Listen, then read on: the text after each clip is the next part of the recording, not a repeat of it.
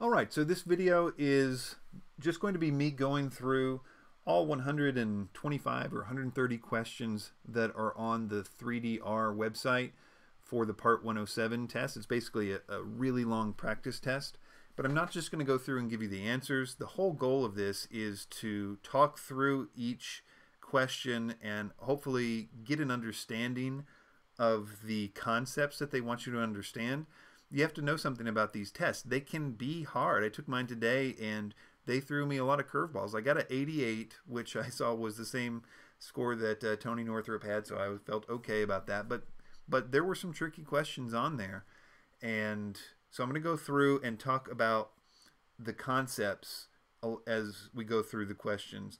Think of it like a you don't want a pilot taking a test and just having memorized the question, the answers to the questions. You want our pilots and doctors and stuff to take tests to get certified where they actually have to know the stuff. And the FAA is trying to do that. So they have this big test pool of questions which you've never seen, and they're going to throw something different. They're going to throw a lot of curveballs at you. And uh, so the best course of action is to know the concepts as opposed to the answers to the question. So that's what this is going to be try to do. Uh, can you watch this video by itself and pass the, the part 107? Uh, maybe if you follow the things that I also tell you to do. Uh, but I, if you're committed to watching videos to try to get this done, I would at least watch this video as well as Tony Northrup's video, which I'll link in the uh, uh, description. And also follow the advice of checking out other videos. Specifically, there's areas that uh, like airspace and especially the whole um, guidelines for attitudes and how to deal with risk management and all that stuff. I will at times say you got to read the section of the of the study guide. It's just so important that you actually read through it because they're going to ask a ton of weird stuff about it. But we'll get into all that. Let's just get started with question number one. Okay, so the first question, refer to figure 20 why would the small flag at Lake Drummond in Area 2 of the sectional chart be important to the remote PIC? So let's look at figure 20. Now, in this case, I, I, think a lot of times they want you to just get good at finding airports and things on these sectional charts, but in this case, they've given you that it's an Area 2, which is marked by these uh, red circles, and we can zoom in here and see Lake Drummond in Area 2, and this is the flag that they're talking about. Now, this is a sectional legend, uh, sectional chart legend question, basically.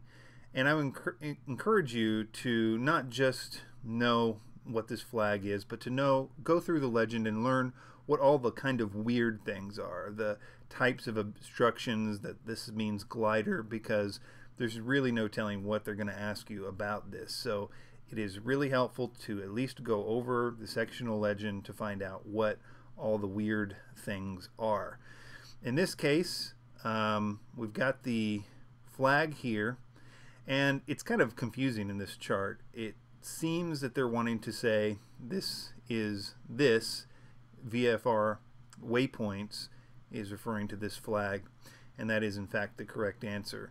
It is the flag indicates a VFR checkpoint for manned aircraft and a higher volume of traffic. Uh, air traffic should be expected there. So this is basically a sectional legend question, and it's always good to brush up on sectional legends. According to 14 CFR Part 107, the SUAS is an unmanned aircraft system weighing, and here uh, they're gonna they're trying to trick you in this question a little bit. They're saying less than 55 pounds or 55 pounds or less.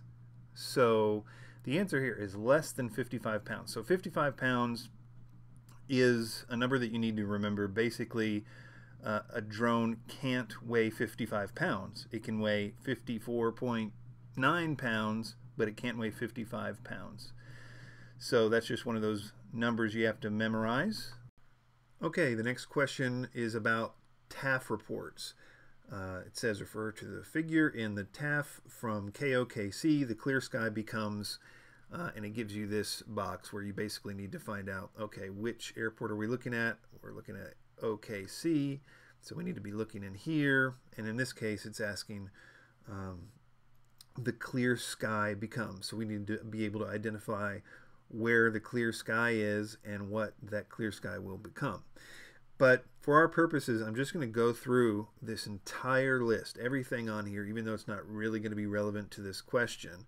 Just because the important thing here is that you learn this, not what the answer to this question is, but that you learn every detail about it, that you actually know how to read this. So that's uh, what we're going to do. So, all right, so let's begin. A TAF report is something that tells about the airport's weather conditions at in, at the given time specified in the report. So this is what the condi conditions are at the airport. TAFs are much more detailed than their the METARs, which are basically the same thing uh, and just shorter and easier to do. If you can do these, you can do those. So um, let's read it. So this came from KMEM, the airport. It was issued on the 12th day of the month because, of course, they don't need to give you any more detail than the 12th day because it's a weather report and not that long lasting. So it's the 12th day of the month at 1720 Zulu time. Zulu time is just how they're referencing the sort of universal time, something that they call it now, but used to be Greenwich Mean Time.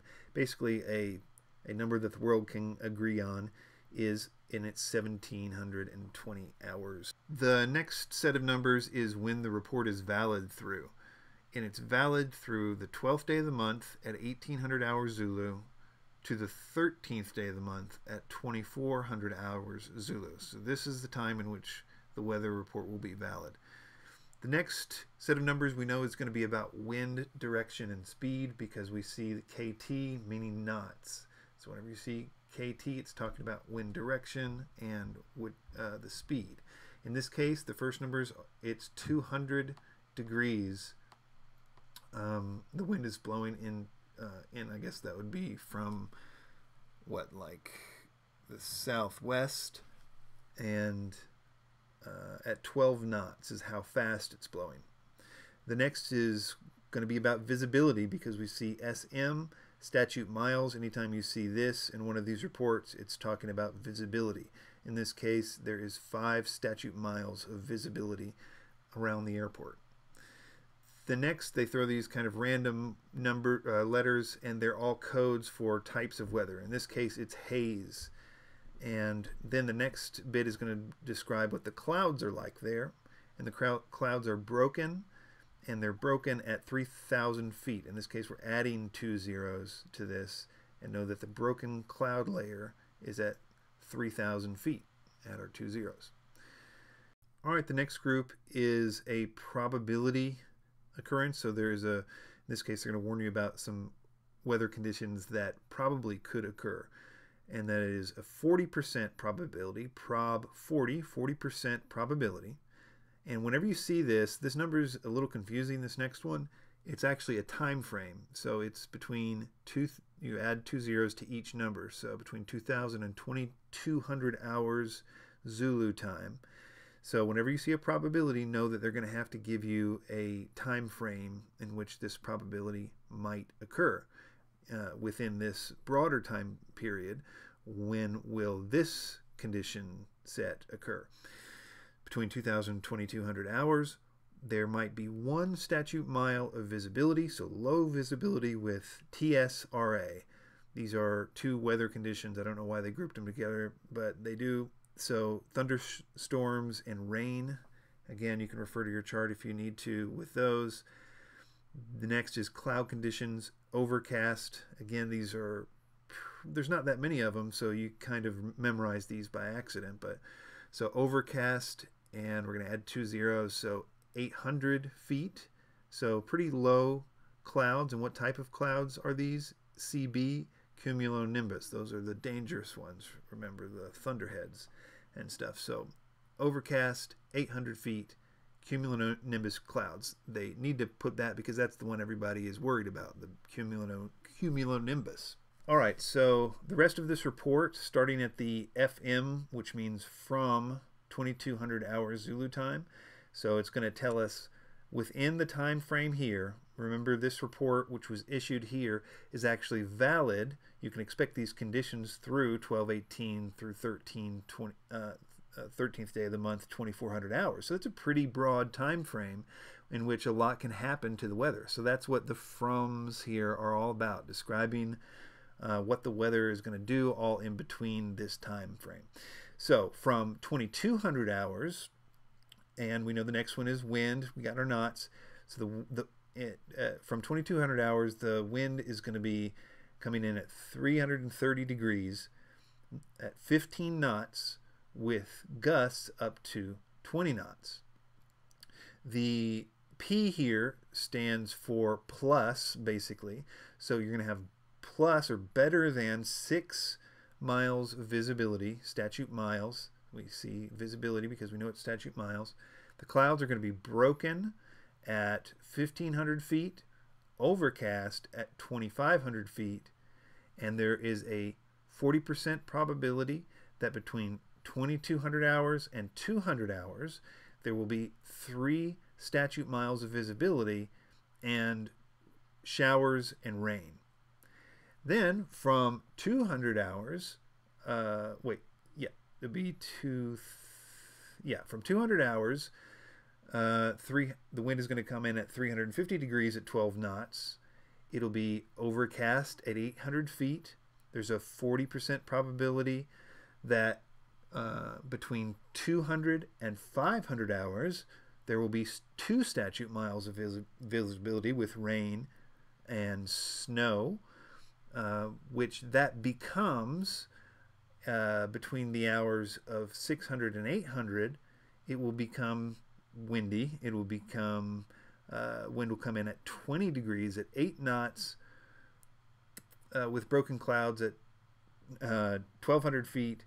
All right, so the next line says that it's becoming, kind of could see that when you look at it. So it's becoming, uh, and here they've gone back to the other date format that we saw up here where the days of the month were included. So on the 13th day, which is all still within this time period, but a smaller chunk of it, between on the 13th day between uh, 1,000 and 1,200 hours Zulu, the wind will come in at zero degrees, zero knots. There will be three statute miles of visibility. BR is one of these that can trip you up because it is one of those that you wouldn't expect. So it's mist, and you can just look that up on your um, uh, legend. So where were we? Three statute miles of visibility with mist. Then uh, the sky's clear.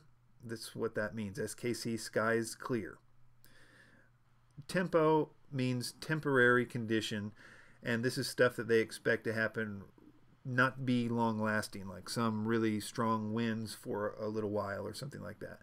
Uh, temporary condition between 12 12 and 12 14 again that's the uh, days of the month and um, hours 1200 and 1400 hours Zulu with one half statute mile visibility with fog and then finally, from 13 1600, so that's almost to the end of this forecast, from 13 1600, there will be variable wind at six knots. So it's going to come from lots of different directions at six knots, and then plus six statute miles of visibility, um, and then skies clear.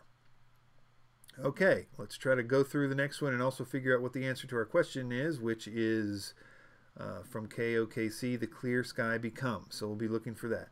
So here we are at the one we're supposed to look at, and we know that this was issued on the fifth day of the month at 11:30 Zulu time, and it's valid through the fifth day of the month at 1200 hours to the sixth day of the month at 1800 hours. The winds are going to be coming in at uh, 140 degrees, 8 knots, be 5 statute miles of visibility with, we now know, mist, uh, broken clouds at 3,000 feet, a temporary condition valid through 51300 through 51600 is that the visibility will be one and one half statute miles. There will be mist, and then from 5 the fifth day at 1600 hours Zulu, the wind is going to come in at, at 180 degrees at 10 knots. There will be plus or more than 6 miles visibility.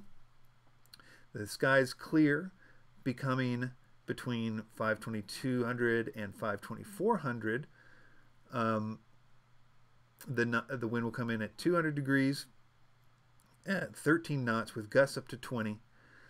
Four statute miles of vis visibility, showers, rain, overcast at 2,000 feet, a 40% probability that between 6 at 0 hours and 6 at 600 hours there will be two statute miles of visibility with thunder uh, showers and rain, overcast at 8,000 feet, cumulonimbus clouds, becoming between uh, 6 at 600 hours and the sixth day of the week at 800 hours. The wind will come in at 210 degrees at 15 knots, greater than 6 statute miles of visibility, scattered clouds at 4,000 feet. So what the answer is, is we actually can see clear skies, SKC, becoming, which is what this question is asking. What does the clear sky become at KOKC? And the clear sky becomes, but it's also going to make sure we know we're getting the right one because it's going to give us a time frame. So if there were two of these kinds of things, clear sky becomes, you would actually know which one because of the time frame. But we can actually see it too. If you get tripped up, you can use uh, the visibility. Here we have greater than six miles visibility, and that's uh, clear skies. But that becomes, and we look, it's going to become overcast. So the clear skies are going to become overcast at 2,000 feet. We see right away that that's probably going to be this one because all the other ones say 200 feet. But I would say don't use that. Always read the entire question of of these and, and especially the, the question and the answers because there are trick questions. I mean, it just there are a lot of them, so you have to make sure you read everything because they might be trying to trip you up. And uh, in this case, though, we can see it's going to become overcast at 2,000 feet. Let's double check that we're right by making sure our time frame is right, and it says between 2200 Zulu and 2400 Zulu. So let's see if that's right. The clear sky becomes between 2200 and 2400 Zulu. So we know we're right. 2000 feet. It is definitely that one. Loading cameras or other equipment on an SUAS, mount the items in a manner that can easily be removed without the use of tools. What do they care about that? Um, that's nonsense. So is visible to the visual observer or other crew members they don't talk anything about that. The only thing that they mention when talking about adding things to your drone pretty much is that it does not adversely affect the center of gravity. That's the main thing that they're concerned about if you're putting stuff on your drones or mounting things. They talk a lot about the center of gravity. Next says, refer to figure 20. Who would a remote pilot in command contact to check NOTAMs as it is noted in the caution box regarding the unmarked balloon. So NOTAMs are uh, notices to airmen. They are uh, flight warnings about conditions that may be in a particular area. Sometimes they can be emergencies. It can be all kinds of different things. So this seems like a little bit of misdirection. So we look, and the balloons, the unmarked balloons, are kind of in these boxes so far that I've seen. And it says, caution, unmarked balloon on a cable to 3,008 feet MSL check NOTAMs. But it doesn't tell us where to check them. And it gives us a link to the sectional legend here. And I didn't find exactly what they want.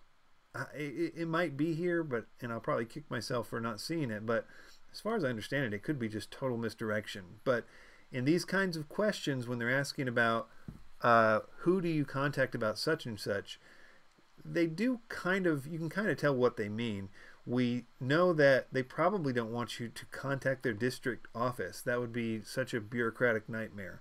So they don't want you to contact them, as I think they want want you to know. But because they've set up all kinds of important uh, portals for people to get this stuff, they can call a phone number, they can look online, they can do a lot of different things. In this case, it's calling it flight service is the answer.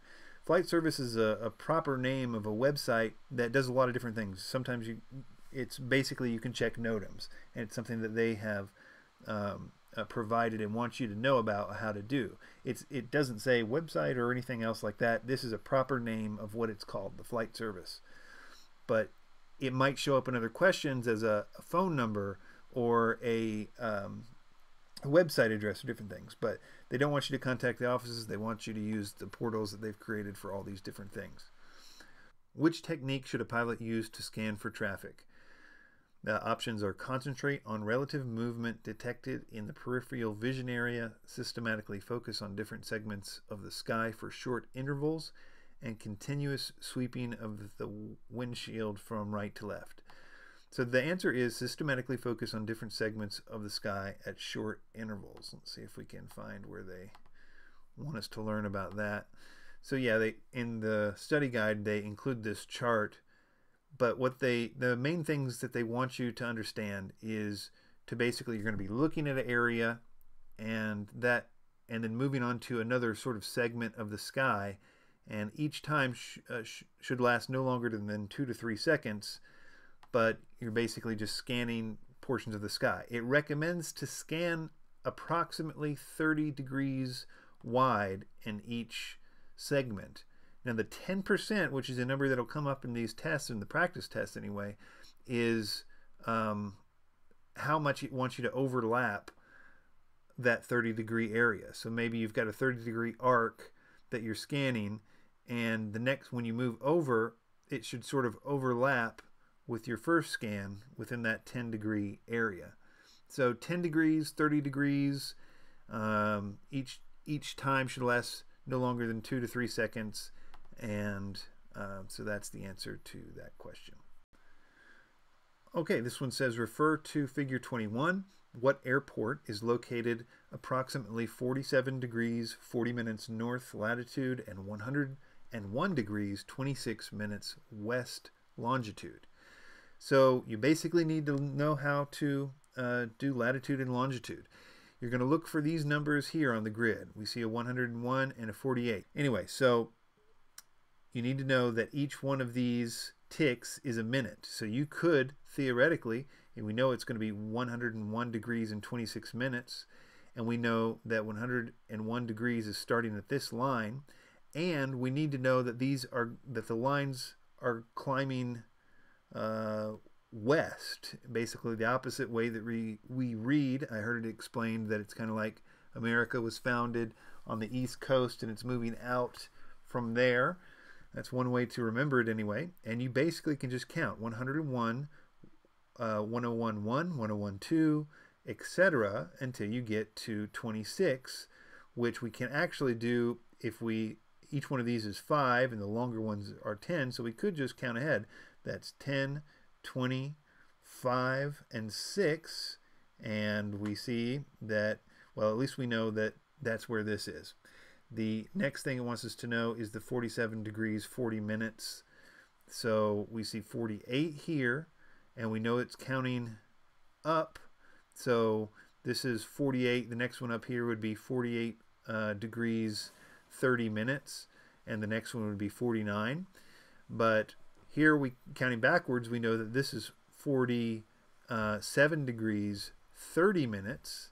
So this line right here, 47 degrees, 30 minutes. And it's asking for 47 degrees, 40 minutes. So basically from this line, we're counting up 10. And that's right here. And there are less ticks going up than there are going this way. So don't be fooled by relative uh, space. So counting, you might want to count individually 1, 2, 3, 4, 5, 6, 7, 8, 9, 10. And we already know that it's going to be Garrison Airport that lines up with these. Okay, this says the FAA may approve your application for a waiver of provisions in Part 107 only when it has been determined that the proposed operation. So the key thing here is a waiver. A waiver is something you're probably never going to really do unless you want to do something that's not really covered in the normal rules of Part 107. For example, there's talk now of waivers. I mean, it's very rare, but waivers to fly over people, which you should never, ever, ever do. Um, people that are not, you don't have their approval. And, um, but in this case, you could theoretically file a waiver with the FAA to fly over people, but there's this huge thing, a list of things that they want to and special things you need to do to your drone and all kinds of things to get that waiver. So, what's the answer? can safely be conducted under the terms of the certificate of waiver, involves public aircraft or air carrier operations, will be conducted outside the United States. No, no, no, no. If they're going to let you get a waiver, they're going to make sure that it can safely be conducted under the terms and certificate of waiver. Okay, this next question, which says when adapting crew resource management CRM concepts to the operation of a small UA, CRM must be integrated into all phases of the operation, is the answer that they want.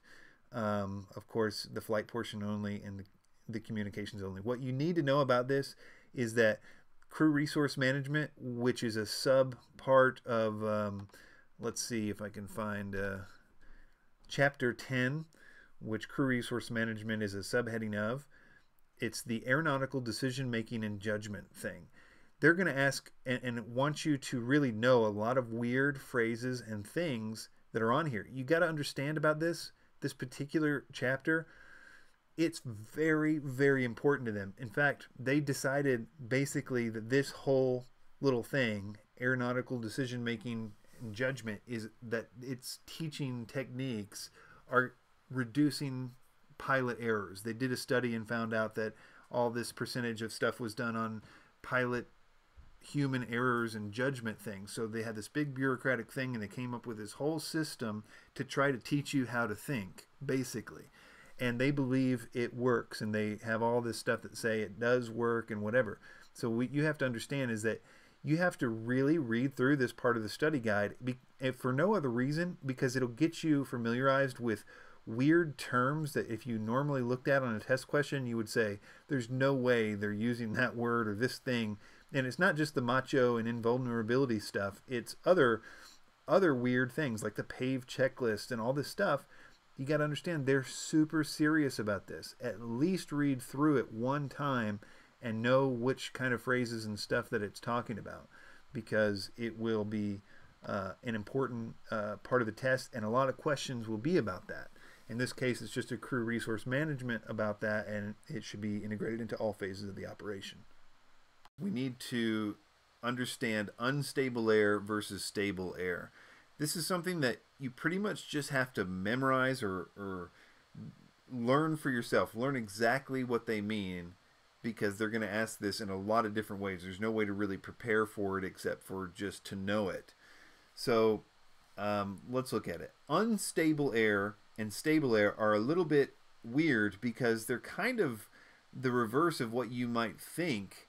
Uh, let's look at stable air as a good place to start because Stable air is characterized by having stratiform clouds and fog.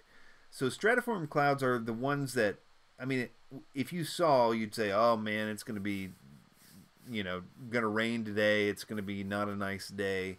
They're kind of on the same level. They're a little bit flat. I don't know exactly how to describe them, but basically, um, stratiform clouds and fog it's going to have continuous precipitation, which is kind of what you would expect from a situation like that. Now, it's going to have smooth air, and that's why it's called stable air. I don't know exactly why those conditions would result in smooth air. It's probably because of air density or something like that. But whatever it is, well, actually, now that I think about it, I do kind of know what it is, but uh, we'll get to it. So, smooth air is characteristic of stable air. That's the main reason this seems in my head as stable is the smooth air. But it also has fair to poor visibility in haze and smoke.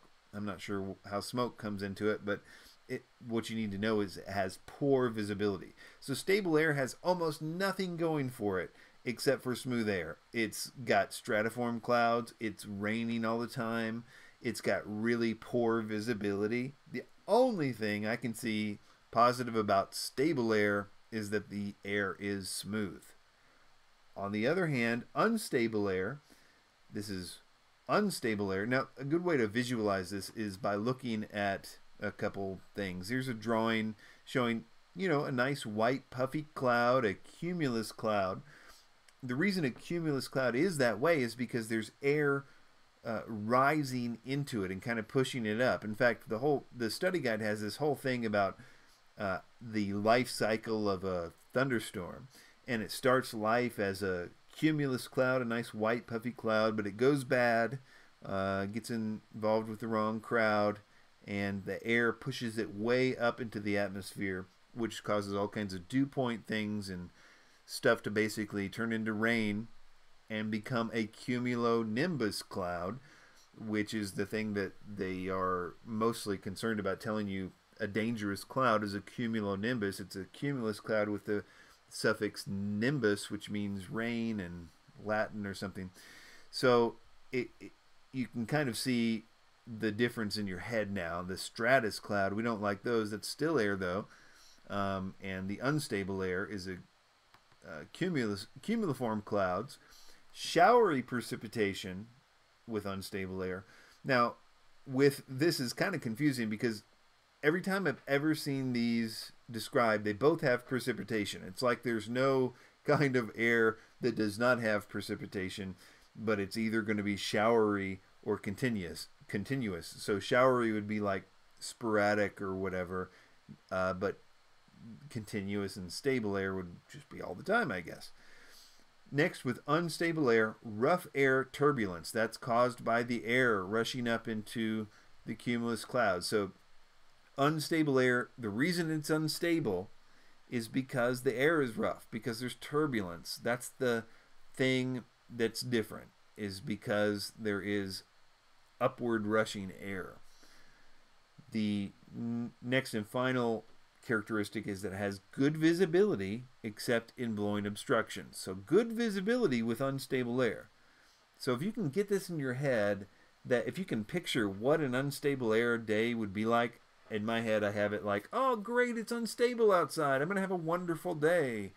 But the oxymoronic uh, reverse would be, oh, man, it's stable outside. It's going to be a terrible day. You know, it's just a reverse of, of, of reality.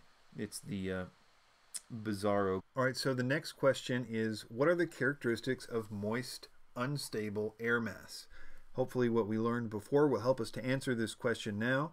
So, it's moist. Well, if I remember, both unstable and stable were described as having some kind of precipitation, either showery or uh, persistent or constant uh, precipitation. But what is an unstable air mass? Well, remember we said we'd rather be outside on an unstable day because it's got clear visibility, white puffy clouds. So we're looking for an, that kind of day. Uh, poor visibility and smooth air, Nope, that is the exact opposite. That is uh, the characteristics of a stable uh, mass. Stratiform clouds, no, we know right there, stratiform is in stable, not unstable. And showery precipitation, nope. Cumuliform clouds, that looks right so far, and showery precipitation, the exact things that we're looking for when we are looking for an unstable air mass. This one says refer to figure 2 if an unmanned airplane weighs 33 pounds what, uh, what approximate weight would the airplane structure be required to support during a 30 degree banked turn while maintaining altitude? So, one of the main things that the FAA wants you to know is that when you take a really hard turn with your drone, it's going to increase the load factor. And you know, each aircraft is designed to support a certain amount of load. Um, so it needs you need to know if another thing that it'll kind of ask you is like what factors have to do with load factor or weight on the airplane and the answer will be any flight except for straight and narrow flight. Basically it wants you to know that turns create load. So in this case we take the weight of the air, aircraft which is 33 pounds and we know that it's banking at 30 degrees. So we look for 30 degrees and that's in between 1 and 2 and we don't need to know exactly um, what because it tells us right here a 30 degree turn actually is 1.154 so you take the weight of the aircraft in this case 33 pounds times uh, 1.154 and that gets 38.08 in this case we'll just hit 38 pounds I will say that some of them later are, get a little bit confusing but We'll talk about that when we get there. It says when operating an unmanned airplane, a remote pilot should consider that the load factor on the wings may be increased anytime. Again, the load factor is the airplane is subjected to maneuvers other than straight and level flight, the gross the gross weight is reduced, or the center of gravity is shifted rearward to the aft center of gravity limit. Now there are questions about center of gravi gravity too, but the main thing you need to know is that the FAA wants you to know that right and left bank turns at higher degrees increase a load factor. So the airplane is subject to maneuvers other than straight and level flight. So your flight patterns will affect load factor. What action should a remote pilot take when operating in, in a military operations area or MOA? Now this one is a little confusing because there are different you might tend to think of a military operations area as like a military base and of course you can't go flying on a military base but military operations area can can be a really big broad area. Let's say that there's a military base um, you know a couple towns over or whatever even in that town um, you may be in a MOA but not necessarily in a restricted area. It just basically means you need to pay more attention. In this case it'll, it'll say different different things about that. The options it gives you here is obtain authorization from the controlling agency prior to operating in an MOA, exercise extreme caution when military activity is being conducted, or, and fly along military training routes. Well, you definitely don't want to fly over military training routes because um, they can actually go quite low on those, and they're shown on the uh, maps by lines with numbers in them, and uh, they're called MTRs. But so you don't want to do that. That's the obvious one.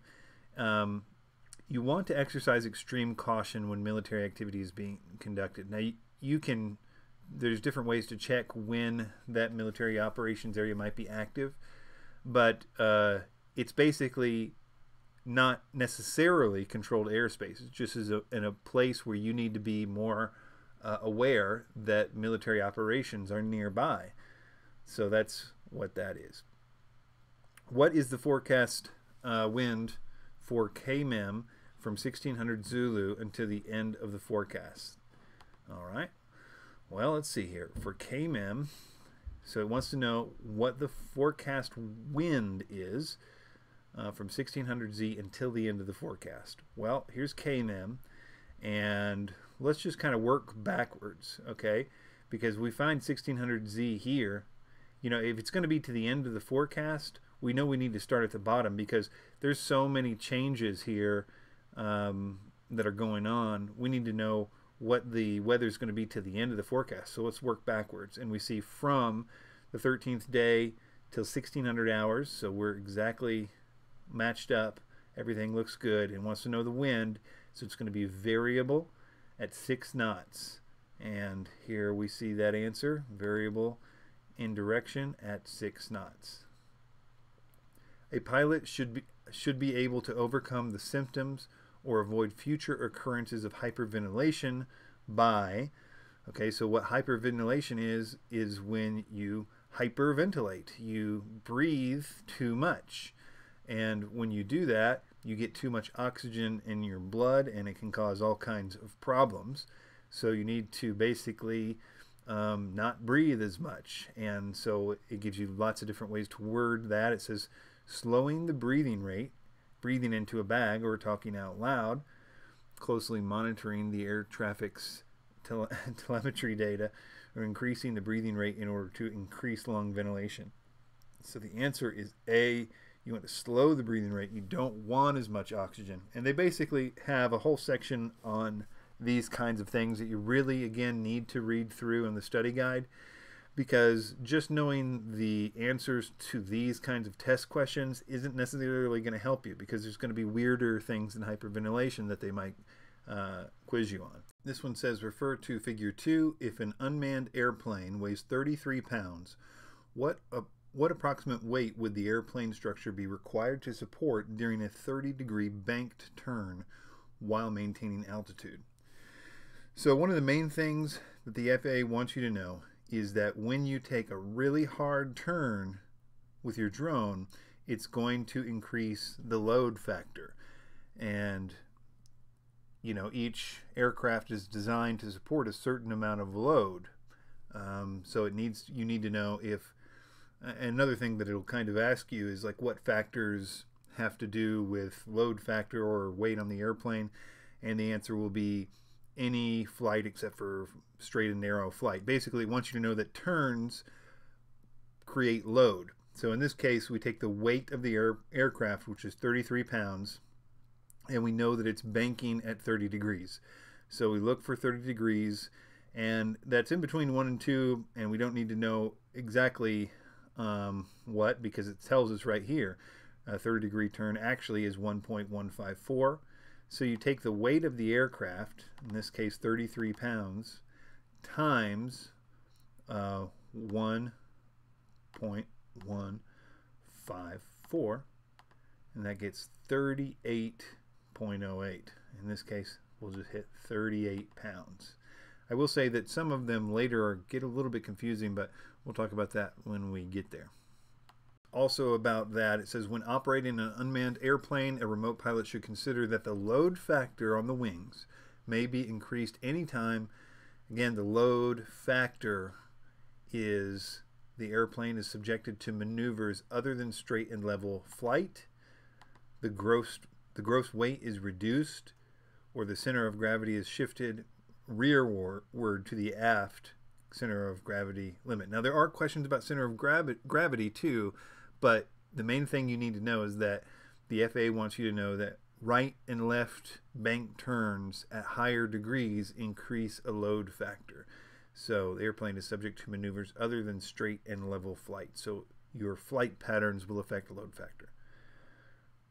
What action should a remote pilot take when operating in, in a military operations area or MOA? Now this one is a little confusing because there are different you might tend to think of a military operations area as like a military base and of course you can't go flying on a military base but military operations area can can be a really big broad area let's say that there's a military base um, you know, a couple towns over or whatever, even in that town, um, you may be in an MOA, but not necessarily in a restricted area. It just basically means you need to pay more attention. In this case, it'll, it'll say different different things about that. The options it gives you here is obtain authorization from the controlling agency prior to operating in an MOA, exercise extreme caution when military activity is being conducted, or, and fly along military training routes. Well, you definitely don't want to fly over military training routes because um, they can actually go quite low on those, and they're shown on the uh, maps by lines with numbers in them, and uh, they're called MTRs. But so you don't want to do that. That's the obvious one. Um, you want to exercise extreme caution when military activity is being conducted. Now, you, you can there's different ways to check when that military operations area might be active, but uh, it's basically not necessarily controlled airspace. It's just as a, in a place where you need to be more uh, aware that military operations are nearby. So that's what that is. What is the forecast uh, wind for KMEM from 1600 Zulu until the end of the forecast? All right. Well, let's see here. For KMEM, so it wants to know what the forecast wind is uh, from 1600Z until the end of the forecast. Well, here's KMEM, and let's just kind of work backwards, okay? Because we find 1600Z here. You know, if it's going to be to the end of the forecast, we know we need to start at the bottom because there's so many changes here um, that are going on. We need to know what the weather is going to be to the end of the forecast. So let's work backwards. And we see from the 13th day till 1600 hours. So we're exactly matched up. Everything looks good and wants to know the wind. So it's going to be variable at 6 knots. And here we see that answer, variable in direction at 6 knots. A pilot should be, should be able to overcome the symptoms or avoid future occurrences of hyperventilation by okay so what hyperventilation is is when you hyperventilate. You breathe too much. And when you do that you get too much oxygen in your blood and it can cause all kinds of problems. So you need to basically um, not breathe as much and so it gives you lots of different ways to word that it says slowing the breathing rate, breathing into a bag or talking out loud, closely monitoring the air traffic's tele telemetry data, or increasing the breathing rate in order to increase lung ventilation. So the answer is A. You want to slow the breathing rate. You don't want as much oxygen. And they basically have a whole section on these kinds of things that you really, again, need to read through in the study guide because just knowing the answers to these kinds of test questions isn't necessarily going to help you because there's going to be weirder things in hyperventilation that they might uh, quiz you on. So you need to read through that section in the uh, study guide. All right, so this, this, says, according to 14 CFR Part 48, when, a, when must a person register a small UA with the Federal Aviation Administration? So this is not talking about um, this the Part 107. This is just about anybody, whether they're flying it commercially or flying it for their own personal use or hobbyist purposes. If it's over 0.55 pounds, so just over half a pound, which almost all drones are, they have to be registered. The only other thing that it might ask you about this registration process is that um, you have to be 13 years old to register uh, a, a, drone. So if you were under 13 and you had a drone, which almost certainly is over, over 0.55 pounds, somebody else would have to register that. A 13 year old could not. Um, next, what is the antidote when a pilot has a hazardous attitude such as anti-authority? So this is that hazardous attitude section of the study guide where it showcases a lot of different ones. Anti-authority is pretty obvious. This is the type of person that says, I don't want to follow the rules.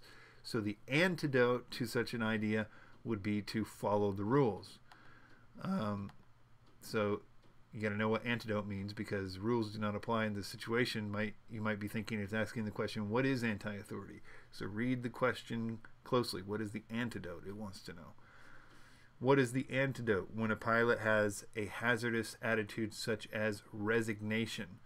Resignation is the idea that oh, there's nothing much I could do about it anyway. You know, I might as well whatever. And so the antidote to that is like I am not helpless. I can have an effect on having a safe safe flight or preventing crashes, etc. All right, the next question is between 1000 Zulu and 1200 Zulu, the visibility at KMM is forecast to be. So first we need to distinguish which one of these two are we're looking at, and it's KMM, so we're looking in the lighter colored block.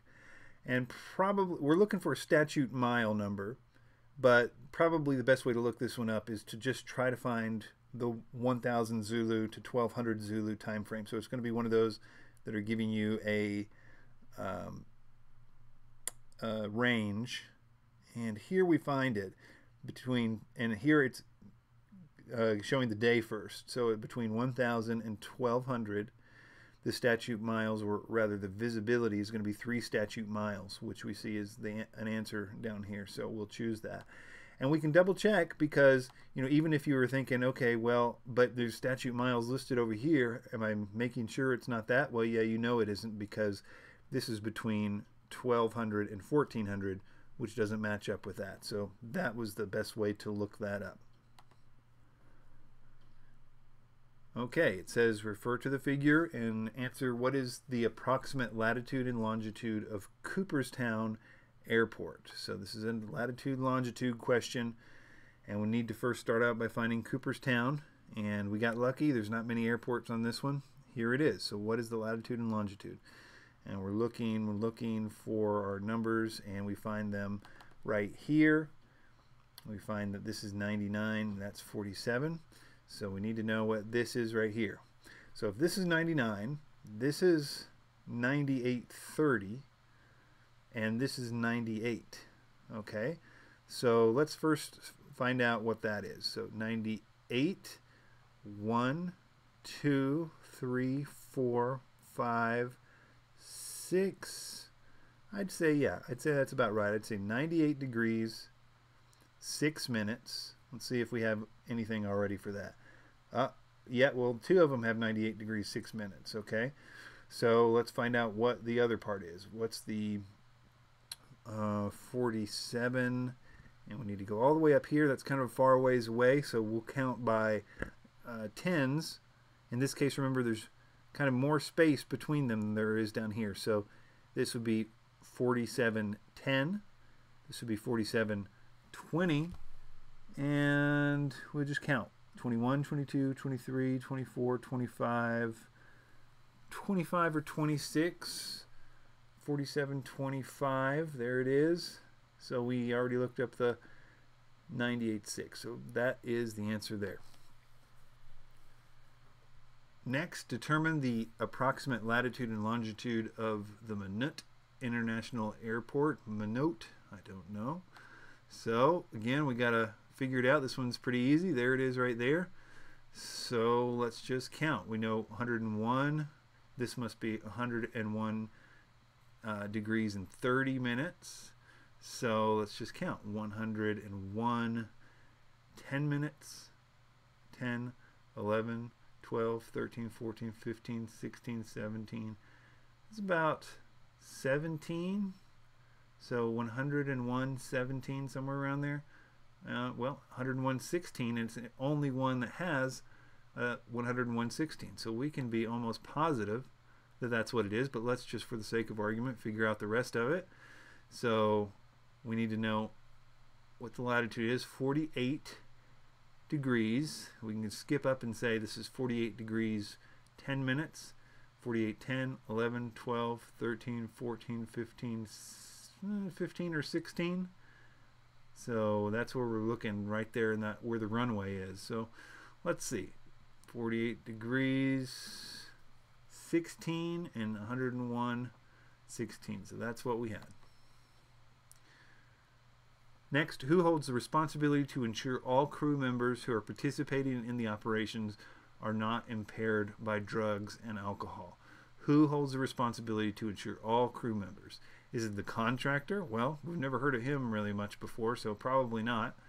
The remote pilot in command or the site supervisor? Well, both of those we don't really they're just kind of official sounding names, but almost always don't take it as the you know the gospel or anything. But uh, it's going to be the remote pilot in command that is in charge of a lot of things in these scenarios.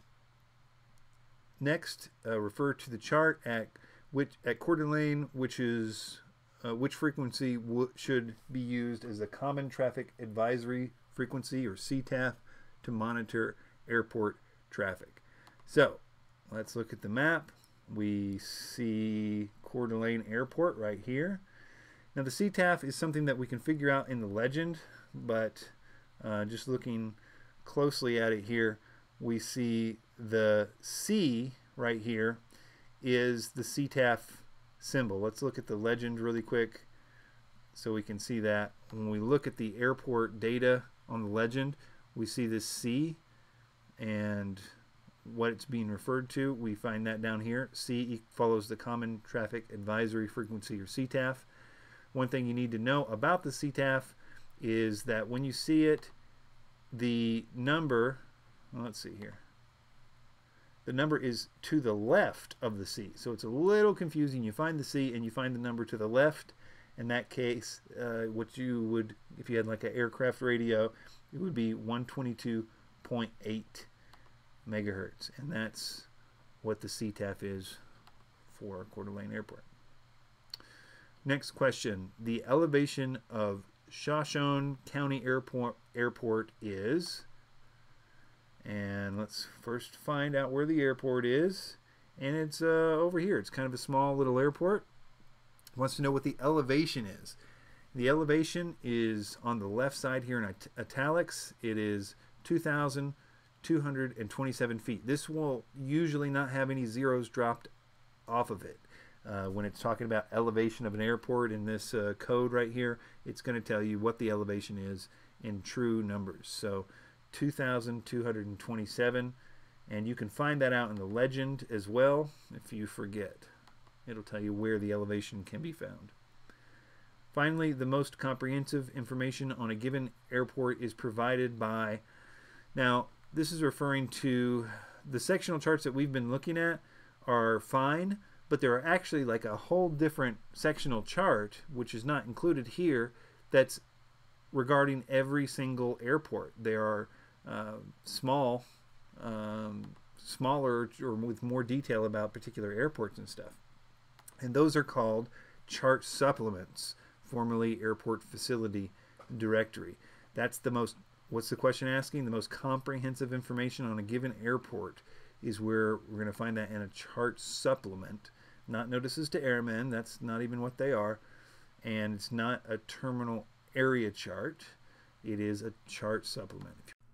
All right, next question. Refer to figure 2. If an airplane weighs 23 pounds, what approximate weight would the airplane structure be required to support during a 60 degree bank turn while maintaining altitude?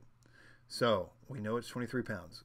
At a 60 degree um, bank, it would be two load factor G units. Now, we actually know it's exactly two because, well, no, actually, look at this. No, it is. 60 degrees is two. So we only have to do this um, multiplication by 2. So 23 pounds times 2 is 46. We don't even need a calculator for that one. And there is the answer. Within how many days must an SUAS accident be reported to the FAA? This is if you have any kind of accident, especially if it is a serious accident and it's kind of spelled out what serious means. It it doesn't want you to think, oh yeah, I got a cut, I got a bruise, a small thing.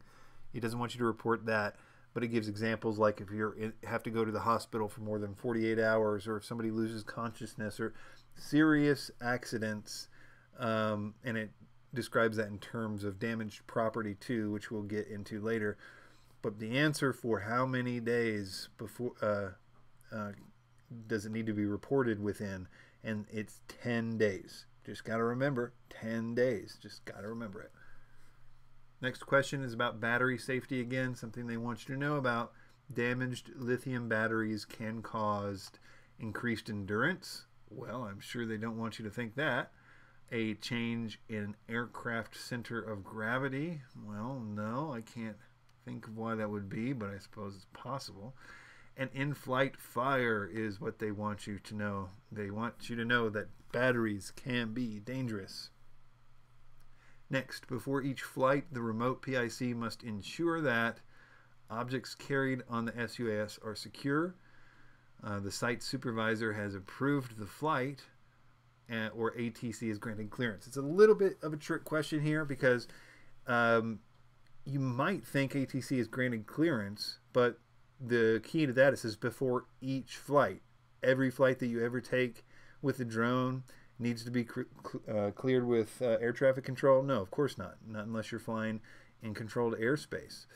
Um, so every time objects carried on the SUAS are secure. It doesn't make a whole lot of sense of a question, but just they want you to know when talking about attaching objects to your drone they want you to make sure it's very, very secure, and they want you to make sure it is not disrupting the center of gravity. So we know because of uh, the way this question is worded that it must be the objects carried on the SUAS are secure. Next question. You may operate an SUAS from a moving vehicle when no property is car uh, carried for compensation or hire over a parade or other social events, over suburban areas, over a sparsely populated area. So it wants to know can you operate your drone from a moving vehicle? Um, and here the answer is yes, you can over a sparsely populated area. The way I think about it is if you're on a boat, a uh, boat is a technically a moving vehicle, and you can operate it on a boat over a sparsely populated area. So that is the answer for that one. To avoid a possible coll uh, collision with a manned airplane, you estimate that your small UA climbed to an altitude greater than 600 feet AGL. To whom must you report the deviation? Okay, so this is if let's say you're out flying a drone and there is some kind of emergency emergency situation where the only way you can get out of it is to fly over 400 feet, which is the limit that you can fly. You can't fly any higher than 400 feet. But in this scenario, you had to fly 600 feet to avoid a plane or something. If you do that, uh, you're not required to unless they ask you. Let's say this whole thing was reported on something and whatever they if they ask you to do that, then you need to report it to the FAA, not air traffic control, not the National Transportation Safety Board, the FAA. This is just almost kind of like a memorization question. FAA upon request. FAA upon request. The next question. The elevation of Chesapeake Regional Airport is. So wants to know the elevation of Chesapeake Regional. And here on the left in italics, it's kind of confusing because it's only 19 feet above sea level, which should make sense. It's right next to the sea. So 19 feet sea level is the answer to this question. If an unstable air mass is forced upward, what type of clouds can be expected? Okay, so we already know the unstable air mass has uh, cumulus clouds, right? But we uh, know that what they want you to be concerned about is especially cumulus clouds turning into cumulonimbus clouds or thunderheads, and that happens when air goes pushes that cloud even higher up in the air, which causes all kinds of things to happen with dew point and all this stuff that causes thunderstorms. So, what will happen if an unstable air mass is forced upward? What type of clouds can be expected? Stratus clouds with considerable associated turbulence? No. We know they're not going to be stratus clouds. Clouds with considerable vertical development and associated turbulence well, that sounds the best so far. They don't specify which type of clouds here, but we know that it's going to be considerable vertical development. That's exactly what is to be expected in an unstable air mass and turbulence. And we know that it's not this one because it says stratus on the second one too. So clouds with considerable vertical development and associated turbulence. It basically is asking you a completely different way if you understand what a stable and unstable air mass is. So the best course of action is to just take the time to learn that. Next question How would a remote PIC check NOTAMs as noted in the caution box regarding the marked balloon? We got another question basically worded the same thing. We got to go look for a marked balloon thing. They're easy to find um, here in like a little box like this. And again, it doesn't tell us how to check the NOTAMs, it just tells us what the unmarked balloon uh, what its uh, altitude is. So the so it wants to know where you're going to check a NOTAM. You can either by utilizing the Before You Fly mobile application. Now the Before You Fly mobile application is a thing that you know can tell you some stuff about airspace and stuff like that. But so far, I don't think it tells you anything about NOTAMs or whatever.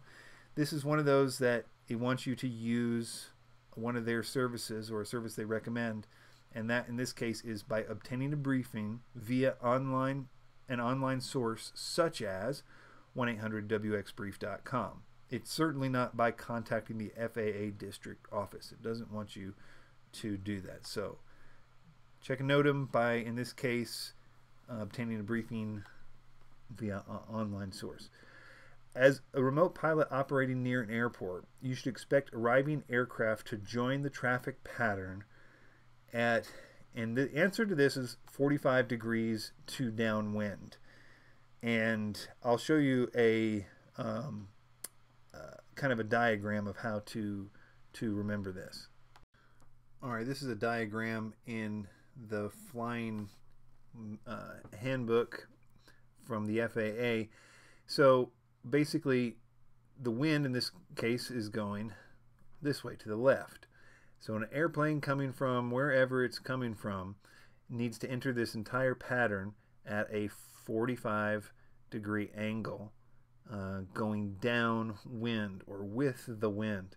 And they'll take a left in the because the traffic pattern for planes is turning left.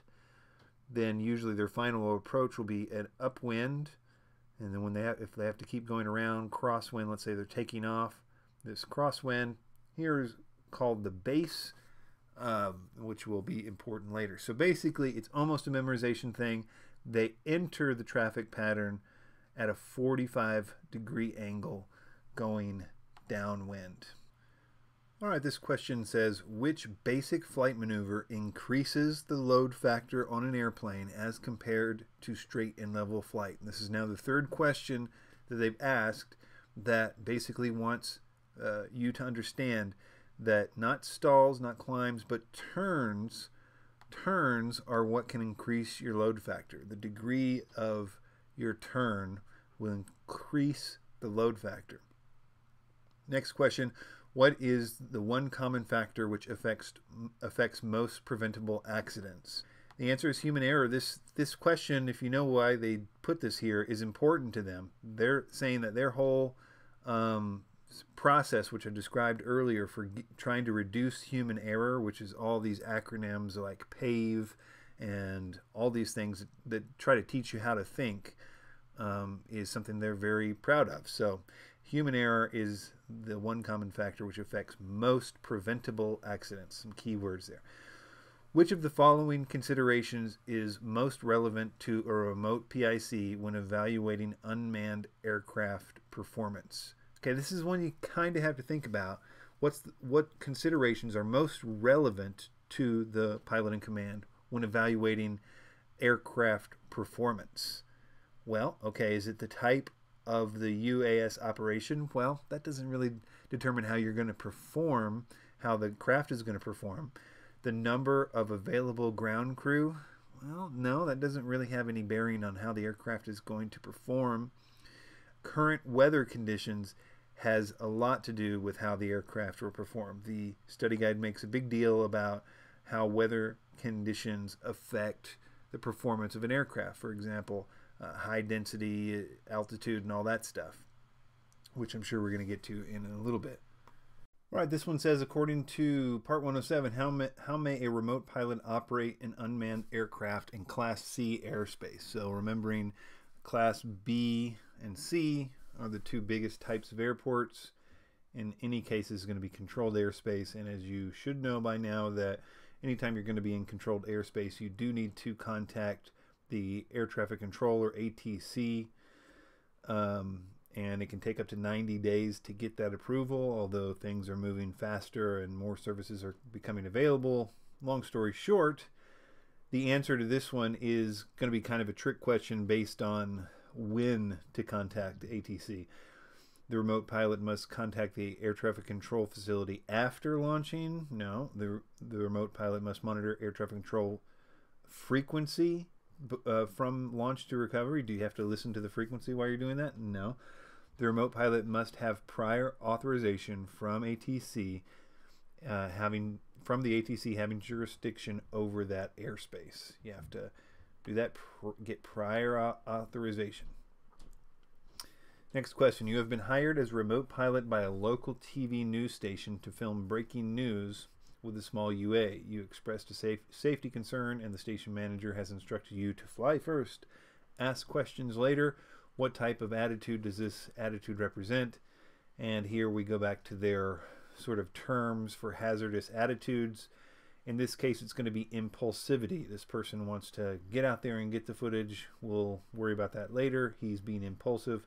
So that is the answer there. All right, the next question responsibility for collision avoidance in controlled airspace rests with air traffic control, all pilots, or the controlling agency. This one's kind of intended to trip you up a little bit you might have a tendency to think air traffic control should have responsible for collision avoidance, but really all pilots are held responsible for not flying into one another.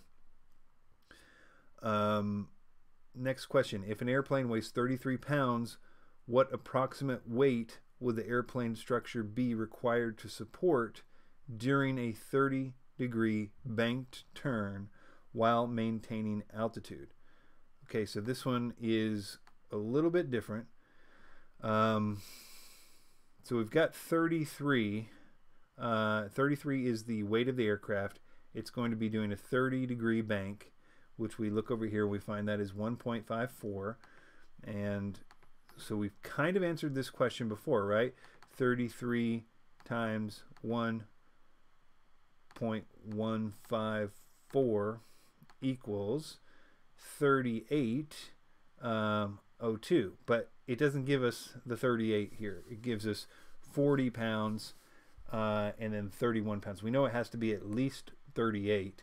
Uh, in this case, it's going to be 40 pounds. And to be honest, I'm really not sure why. I think it's because it's trying to say that in addition to that, you might have to add uh, 1.15. I don't really. I actually have no idea why this is the case. I'm sure it's in there somewhere, but basically you should be able to figure it out by what's what's there. You know it has to be at least 40 pounds.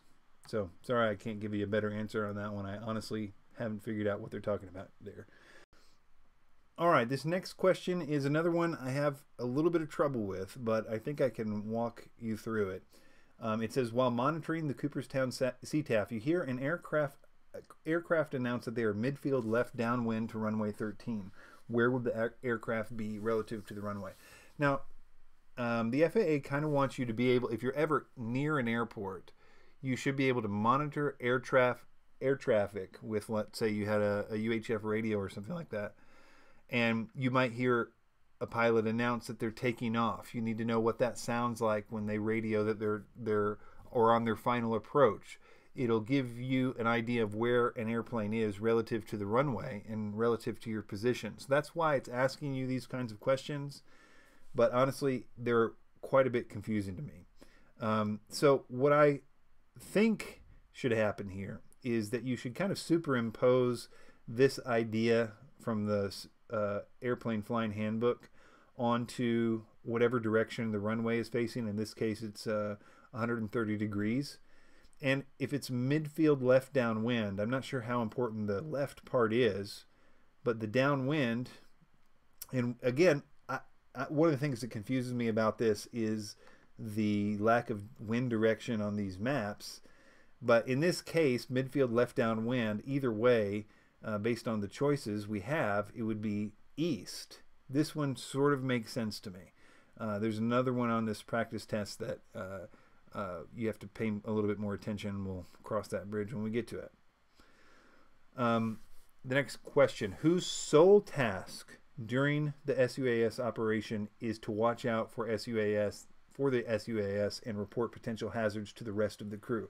The important thing here is this sole task. It's not going to be the remote pilot in command because if the remote pilot in command was the only one operating the drone, there was nobody else there with him, then he wouldn't have the sole task of just watching the drone. He's got a lot of other tasks. So in this that's the important part of the way they've worded this question and it's going to be a visual observer. So that's in a situation where you have a visual observer, for example, if you were uh, using uh, you know some kind of first person view or whatever where you couldn't watch the plane. The next question, refer to figure 21. You have been hired by a farmer to use your small UA to inspect his crops. The area you are to survey is in Devils Lake West, MOA, east of Area 2. How would you find out if the MOA is active? Okay, and we see this right here, uh, Devils Lake West MOA. Now, let's first we see a red kind of line uh, kind of odd line there. Let's check the legend out. And the legend is telling us it's an alert area and MOA military operations area. Okay so we have one of these where I am and basically it's just it's usually a big area where it is possible that military operations could be there. It is not if it's like a warning area, it's almost certainly not going to be restricted for you to fly in, but they want you to know to be very, very careful. So um, in this case, the answer is going to be refer to the legend for the special use airspace phone number. Um, and what the and, and that's not the military operations directory. I don't even know if that's real or whatever. Maybe it is. This information is available at the small UAS database. Basically, the point is is that MOAs and different alert areas like this in the legend of the map. Um, if you see the full map, it's going to give you the actual times and in this case phone number to find out when that area is going to be active and what other restrictions there's going to be on that area. So a lot of those kinds of MOAs or uh, alert areas, you're going to actually refer to the legend in order to figure out. Sometimes it'll have hours of operation kind of thing, or a phone number or other contact information. So refer to the legend. All right, so this next question is a little bit difficult. It says, What effect does high density altitude have on the efficiency of a UA propeller? This is one of those things that it's best just to kind of understand and understand the sort of weird tricks that are being played here, as far as I'm concerned. Uh, the word high density altitude is the confusing part, but we'll get to that in a minute. So, what you need to understand is that imagine air at the ground level is going to be much more dense. That makes sense, right? Because all the weight of the air above it is kind of pressing down on it. That's why, like at the bottom of a sea, there's more pressure because there's just more weight. Same thing with air. The air is denser at ground level. And what is that? Uh, how does that affect your drone? Well, it actually is really good for it. A lot of air means the essentially the propellers can be more efficient. They can move more air around and do things um, because of the density of the air. So low to the ground is great for and high density essentially of air is great. But there's a confusing part because the way they word this, and I have no idea why, high density altitude means the exact reverse of high density. What it's referring to, if they just switched up the word high and the word altitude, high altitude density, that would be what it means. It means the the density at high altitudes and which is the exact reverse. It's very thin, and your propellers are not very efficient. The higher you go, the worse that your performance is going to be because the air is thinner way up high. And so it's the exact reverse of what it sounds like because it should read high altitude density, which would be low, but instead it says high density altitude, which is low, uh, but it just is worded weird. So um, what effect does high density altitude have on the efficiency of a propeller? Well, it is decreased because at high altitudes the density is very low. I know it's confusing, but it's something you just need to stare at and understand what's happening. All right, the next question is an effective use of all available resources, human, hardware, and information prior to and during flight to ensure the successful outcome of an operation is called crew resource management is what they want. But don't be fooled into thinking that risk management and safety management systems cannot be answers because they are a part of this whole inter, you know uh, thing that the FAA wants you to know and talks a lot about is essentially decision making and uh, how to avoid human error. It's a very important thing to familiarize yourself with in this particular case, the effective use of all available resources, human hardware, and information, it wants you to know that crew resource management is a pretty all encompassing thing for just um, using all of your resources to ensure a su successful outcome of the operation. Which is true regarding the presence of alcohol within the human body. Small amount of alcohol increases vision acuity, uh, no, judgment and decision making abilities can be adversely affected. That one's obvious, but what I want you to know about this is they could ask you any number of questions about alcohol. They could say, you know, how long do you have to wait before drinking an alcoholic beverage? At least eight hours. Um, blood alcohol is 0.04. You need to know those numbers. You need to know things like um, it doesn't matter if you wait eight hours and you have a blood alcohol over 0.04 you know that trumps it. You cannot fly a drone. Uh, so there's a section regarding drugs and alcohol. It's important to just read through at least once. It's one of those sections it's good to read through. Next, what could what could be a consequence of operating a small unmanned aircraft above its maximum allowable weight? What could be the problems with that? You would have shorter endurance, increased maneuverability. No, you wouldn't probably increase your maneuverability or get faster speed. This one's obvious shorter endurance. It does not want you to increase the aircraft above its um, maximum allowable weight. What should pilots state initially when telephoning a weather briefing facility for pre-flight weather information? Now this one, this one is uh, kind of tricky. I did not get this one the first few times I tried it. Um, and it's actually the location of the operation. Uh, you need to tell them if you're going to be telephoning a weather briefing facility for pre, pre, pre-flight information. You need to initially state where you are, and not uh, your certificate number, not the address of the remote PIC, but the location of the operation. All right, this one says to refer to figure 12. What are the conditions for Chicago Midway Airport, KMDW? So let's first find KMDW. We're looking at this one. Um, let's just read through the METAR so we know what we're looking at. I don't think we've looked at one of these yet. So it's similar to the other ones, but uh, some distinctions. Let's look at it. It's the 12th day of the month, and it is at 1856 Zulu time. That's when it was issued. It's saying that the wind will be at 320 degrees at 5 knots. The visibility is going to be one and one half statute mile. It's going to be rain, overcast at 700 feet. Now with METARs here, it's going to have the temperature in Celsius, 17 degrees, and the dew point, 16. The reason why they group these together is because it's an indication of if there's going to be fog or mist or whatever. Because in this case, they're less than three digits apart from one another. And that's an indication that you need to be aware of uh, fog, mist, and that sort of thing. Uh, so you want these to never be really too close to each other if you can help it. The next one with an A tells us this is going to be barometric pressure.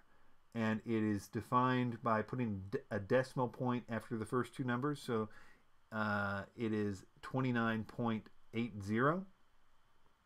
And this RMK means a remark. So this is sort of like an addendum about this.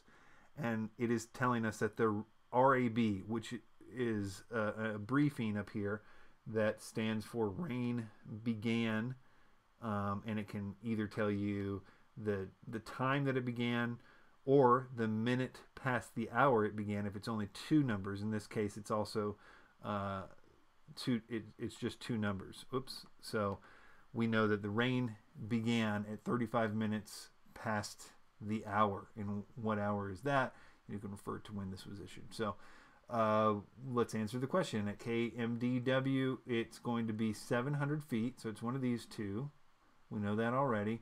And it's going to be overcast visibility. We can see that. And it's not going to, let's see, it's going to say one and one half miles. The differences between heavy rain and rain is a plus or minus. Uh, this one does not say a plus or minus. If it was minus, it would be light rain with no qualifier. In this case, it's just rain. If there was a plus before this RA, it would be heavy rain. So we know it is this one. The next question. The most effective method of scanning for other aircraft for collision avoidance is to use, this is, goes back to that system they were trying to teach us with that graph. Um, is it regularly spaced concentration on the 3, 9, and 12 o'clock positions? peripheral vision by scanning small uh, sections and utilizing off-center viewing, or a series of short, regularly spaced eye movements to search each 10 degree sector. And in this case, we remember the 10 degrees, although this is worded kind of funny because in the study guide it basically says to overlap them by 10 degrees, but it can be up to the, the sectors themselves are 30 degrees it, it's kind of confusing, but we know that we didn't hear anything about any of these first two. So although it's worded weird, the, er, the answer is a series of short, regularly spaced eye movements to search each 10 degree sector. A local TV station has hired a remote pilot to operate their small UA to cover breaking news stories. The remote pilot has had multiple near misses with obstacles on the ground and two small UAS accidents. What would be a solution for the news station to improve their operating safety culture? This one is purely a common sense question. It's uh, the news station uh, should recognize hazardous attitudes and situations and develop standards operating procedures to emphasize safety. And the rest make absolutely no sense if you're thinking logically about how they want you to answer those types of questions. This one says refer to figure 26. What hazards to aircraft may exist in areas such as Devil's Lake East MOA? Okay, so here we are, Devil's Lake East MOA. What kind of hazards can we expect? Well, we see uh, this line right here, which is going to be a, a MOA, excludes airspace within restricted areas when active. So this is one of those situations where you would need to look at the legend to determine when it is active. But what kind of, and so you can fly in it, but you need to be very careful. So what can you be looking for? In this case, the answer is military training activities that necessitate acrobatic or abrupt flight maneuvers. But I would say that it's very, it's a very difficult question, and some of these answers will show up in other places. Um, and I honestly don't know how to tell the difference about what they won in certain situations. But in this case, uh, military training activities that necessitate acrobatic or abrupt flight maneuvers might happen in this area. Now, the other answers are a high volume of pilot training or unusual type of aerial activity. That really seems to me like it could just as easily be the answer to that because it, it just doesn't make any sense why that couldn't also be an answer to me. The next one, unusual, often invisible hazards such as aerial gunnery or guided missiles, that does not seem possible because this is one of these these areas that are very broad. It's covering many towns. It's just trying to say, hey, there is stuff going on in this area, but probably not shooting missiles off to you know one town to the other kind of thing. So I don't think it's that one, but the the right answer is um, that there might be military training activities that necessitate acrobatic or abrupt flight maneuvers. It says refer to figure 20 area 3, so it's going to give us a specific place. With ATC authorization, you are operating your small unmanned aircraft approximately four statute mi miles southeast of Elizabeth City Regional Airport. What hazard is indicated to be in that area? All right, so we need to find Elizabeth City Regional Airport first. Um, and it can take a while. I don't really have a really great system for this, but in this case, I found it pretty quick. Elizabeth City. And we do see this uh, area right here. Caution unmarked balloon on the cable to 3008 MSL. So it tells us exactly, it's trying to confuse you with AGL MSL, but in this case it just tells you MSL. So no trouble there. Uh, we'll just use some logic to get that one figured out. Okay, so this question is one of these that I just don't understand. You will probably need to go somewhere else to figure this out. I've tried to figure it out. I've gone to all kinds of different places and read through the whole thing, but I just don't understand what they're trying to accomplish with this question. Um, the question is while monitoring the Cooperstown CTAF, you hear an aircraft announce that they are left base to runway 31. Where would the aircraft be relative to the runway? Um, all right. Well, if it's left base, to me, I, I, you know, if I'm gonna go by this, I would need to know which which direction the wind is going, and I think that's what's messing me up because this obviously does not tell you what direction the wind is coming. The answer is south. The answer is that if you say that you're left base to runway 31, and again, looking at this chart, trying to understand where base is, it's relative to the wind. Uh, but I, I will get this question wrong nine times out of ten. I just cannot be, uh, I just can't be relied upon to give you exactly how this works. I've been told again that this question did not appear on many people's uh, test, but the point is, I guess, that I am not going to be able to tell you much about how to answer these kinds of questions. Please go elsewhere um, for more information on that. Okay, so this next question says, refer to figure 25, area 7. Important to pay attention to that area 7 with a map this convoluted and with this many airports in it. Um, it says the airspace over line McKinney Airport, TKI, is controlled from the surface to. So let's look at area 7 and hopefully we'll be able to find McKinney Airport. Here it is. Now, McKinney Airport is surrounded by a blue dashed line. Now, usually when you see a circle of dashed lines, whether it be blue or magenta, it means that that airspace is going to go right down to the surface. And this number here within the circle is going to, because we know it goes down to the surface because of the dotted line, the 29 is going to tell us the ceiling of that airspace. Of course, adding our two zeros. So 2,900 feet from the surface to 2,900 feet. So let's look at the answers. Um, 700 feet AGL, 2,900 feet MSL, or 2,500. So we know it's going to be 2,900. I should also say that these are going to be in mean sea level as opposed to ground level. Ground level shows up in many different cases within these maps, but try to think of it as it's going to default to sea level. So the next question says, refer to figure 25, area 4. The airspace directly overlying Fort Worth Meacham Airport is Class B airspace to 10,000 feet MSL, Class C airspace to 5,000 feet MSL, or Class D airspace to 3,200 feet. So let's look at it. We've been told, especially in a map this big, Area 4. So let's look for Fort Worth Meacham in Area 4. And let's see if we can find it pretty quickly. Uh, here it is, Fort Worth Meacham. And what is the airspace? Now, you're kind of trying to, uh, you know, get you a little bit on this one. Fort Worth Meacham is definitely within this broader kind of upside down cake, is the way airspace is sometimes uh, described. But let's let's see what we can figure out about this. Now, we know because we're going to go to our legend real quick. Let's look real close at Fort Worth Meacham and we see it does have a little dot dashed blue line around it so we know it goes to the surface to 3200 feet. We know that for sure.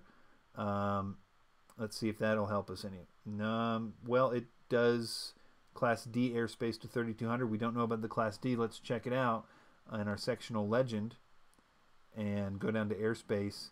Solid blue class B dashed blue which we saw is class D airspace so, based on that, let's look at it one more time really quickly. We know the blue dashed is class D. We know it goes from the surface to 3200. Let's see if that makes any sense here.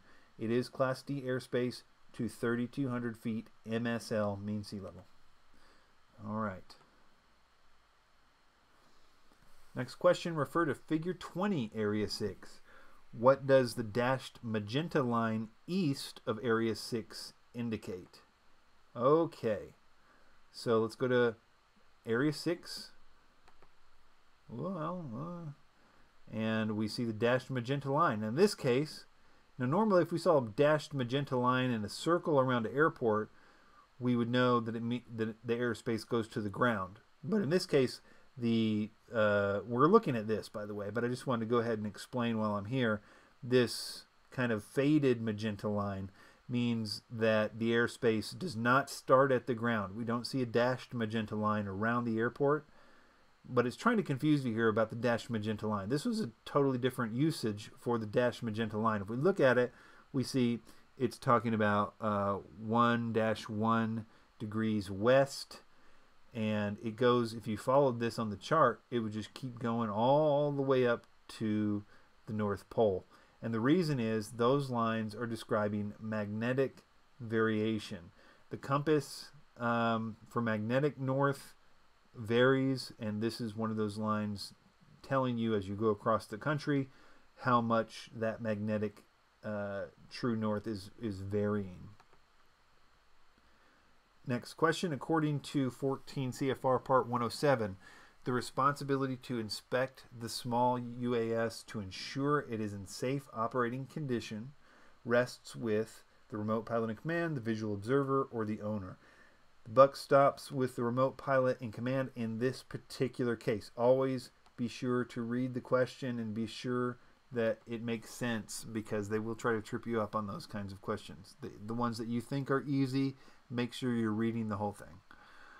While operating a small unmanned aircraft, SUAS, you experience a flyaway and several people suffer injuries.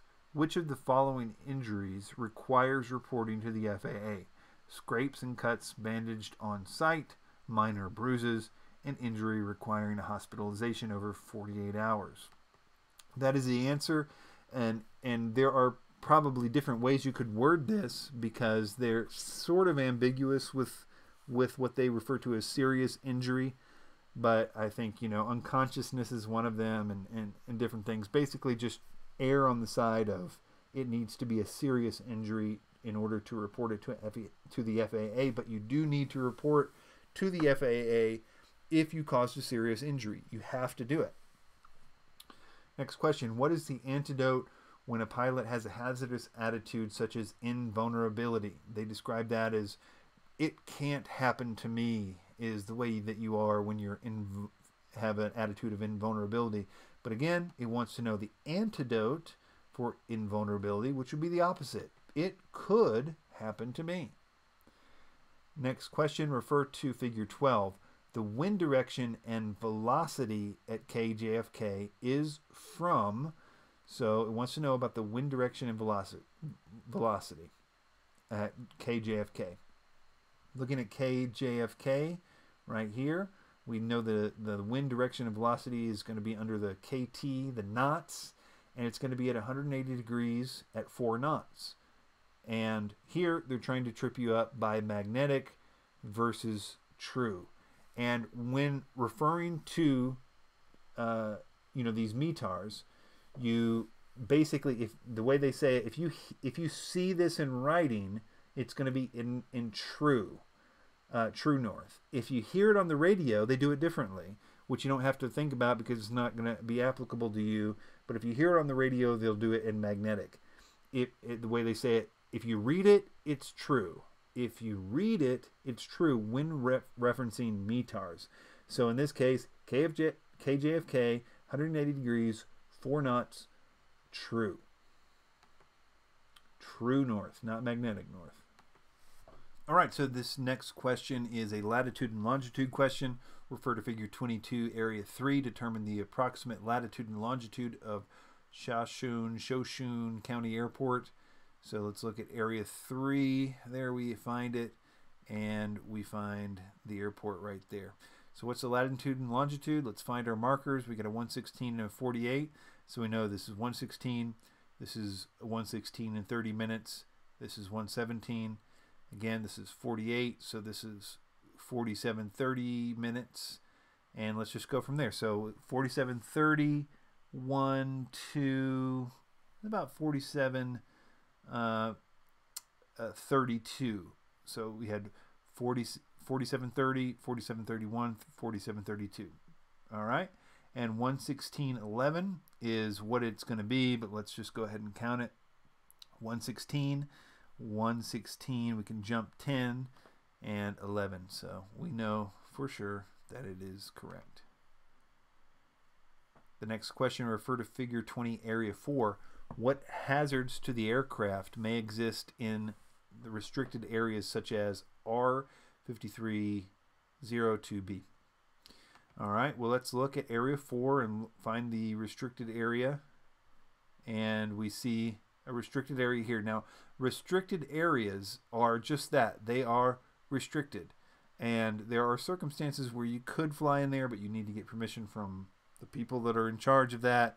So restricted areas are uh, prefaced by the, the letter R and so in this particular scenario, the answer is well, let's just read the answers. Military training activities that necessitate acrobatic or abrupt flight maneuvers.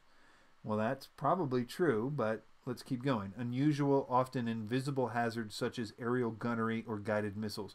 That that's what it wants you to know about restricted areas. You can't fly in it because there could be bombs going off in there or whatever. So uh, and there is a high volume of pilot training or unusual. All these things are basically true, but the thing it wants you to know about restricted areas is there could be often invisible hazards such as gunnery or missiles.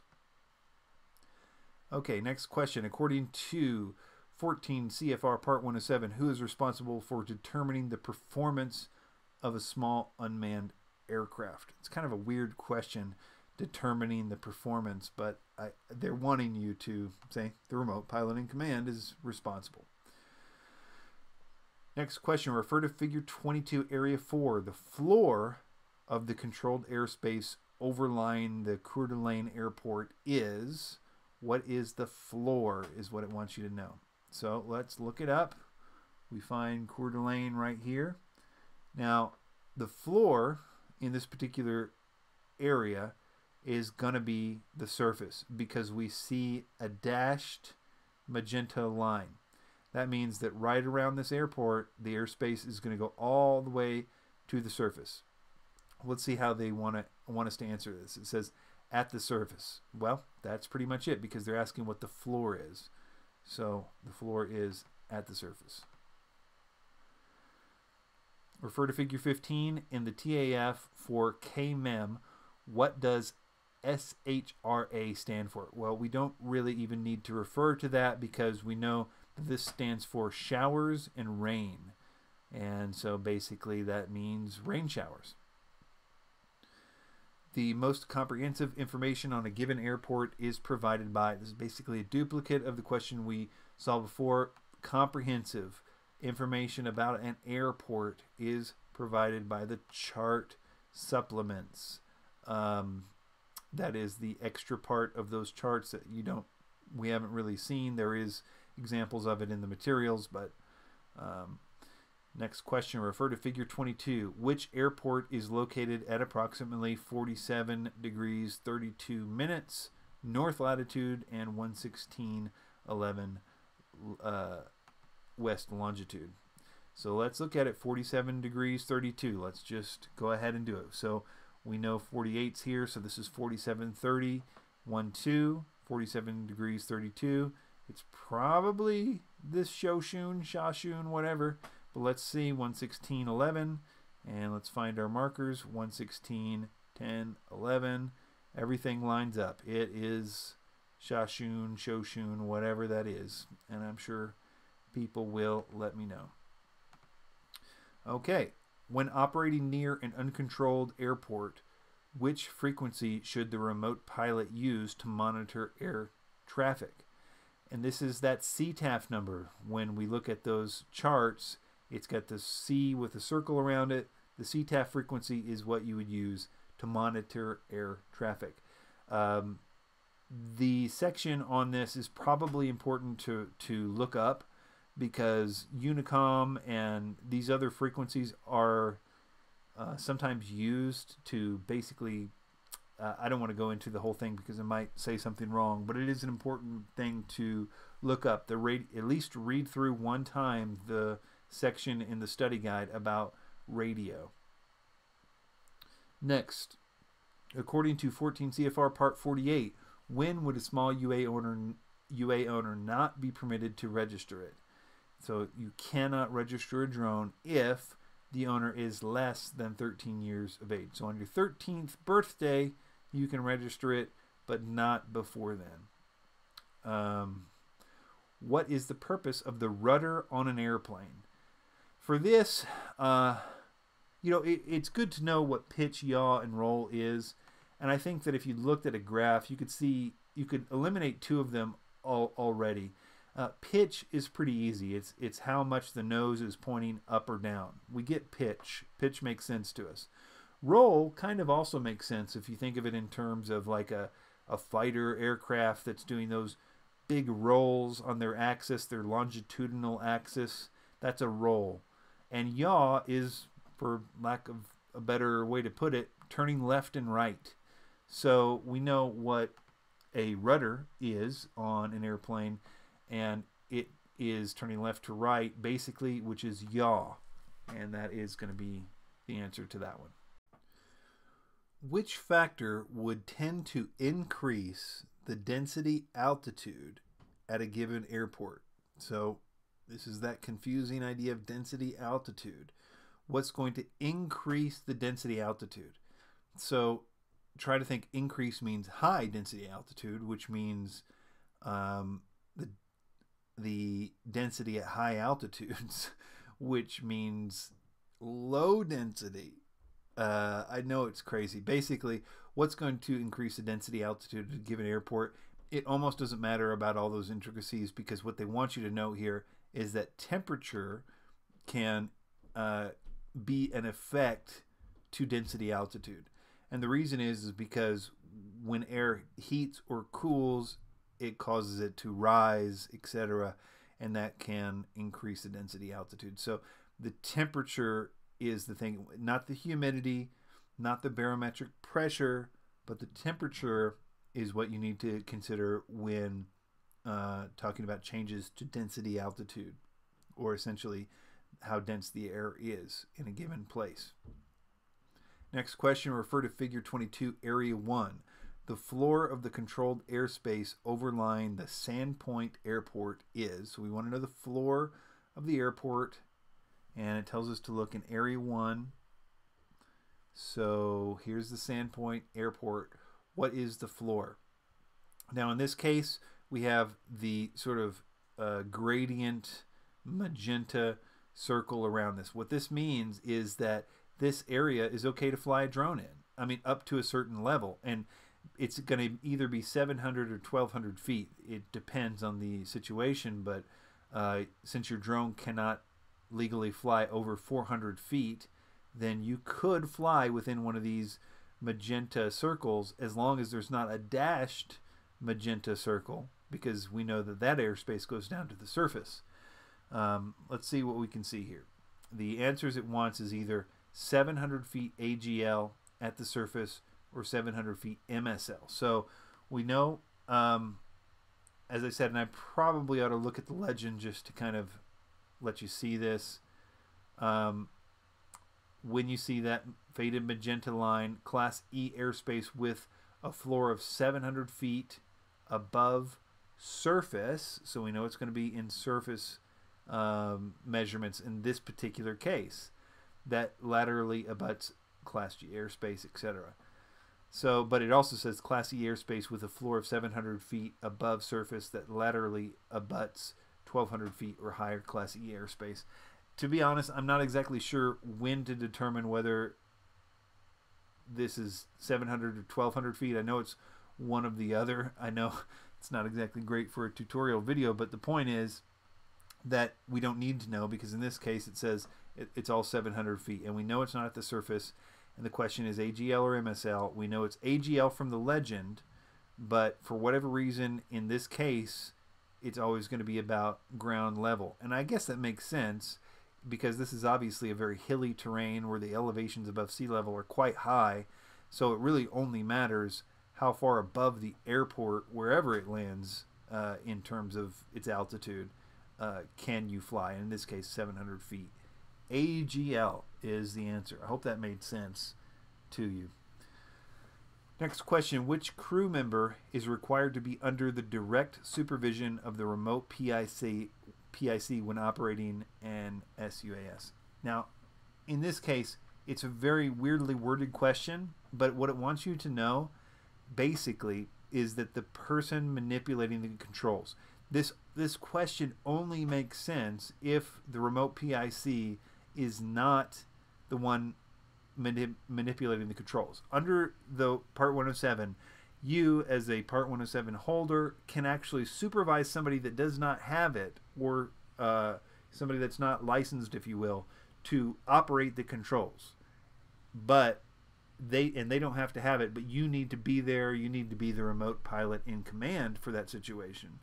So when it asks the question, which crew member is required to be under the direct supervision of the remote PIC. So this is assuming you have more than one person there and that there's a person manipulating the controls. It's a weird question, but it just wants you to know that there can be a person manipulating the controls that's not licensed as long as you are there. Next question. Refer to figure 23, area 3. What is the floor of the Savannah C-class air, airspace at the shelf or outer circle. Okay, so we're looking for the floor of the outer circle. In this case, we know it's going to be Class C because of the non-dashed magenta line. Um, and remember, this is an upside down wedding cake where um, this inner circle goes from the surface to 4,100 feet AGL, or rather MSL, so this is sea level, Whenever it's doing these bra- these fraction kind of numbers, it's defaulting to sea level. Um, so, but it wants to know what the outer level is, and it wants to know what the floor is. In this case, it is 1300. The outer level of this um, upside down wedding cake, and the floor is 1300, and we know it's going to be MSL because it's mean sea level when it's in these kinds of brackets inside major class airspace like that. Next question What are the characteristics of moist, unstable air mass? One of those things you just got to sit and think about. Think about your how you remembered this. Uh, unstable air mass, it's moist, and what is it going to be? Haze and smoke, poor visibility, smooth air, or turbulence and showery precipitation? Well, uh, it's unstable, so that remember that's a day that you want to go out in. A cumulus, beautiful cumulus clouds, except there is an upward air draft and clear visibility. Uh, but for whatever reason, they always say showery precipitation whenever that is going on. Um, the answer is turbulence and showery precipitation for this particular uh, one, and again, referring you back to the earlier discussion on those points.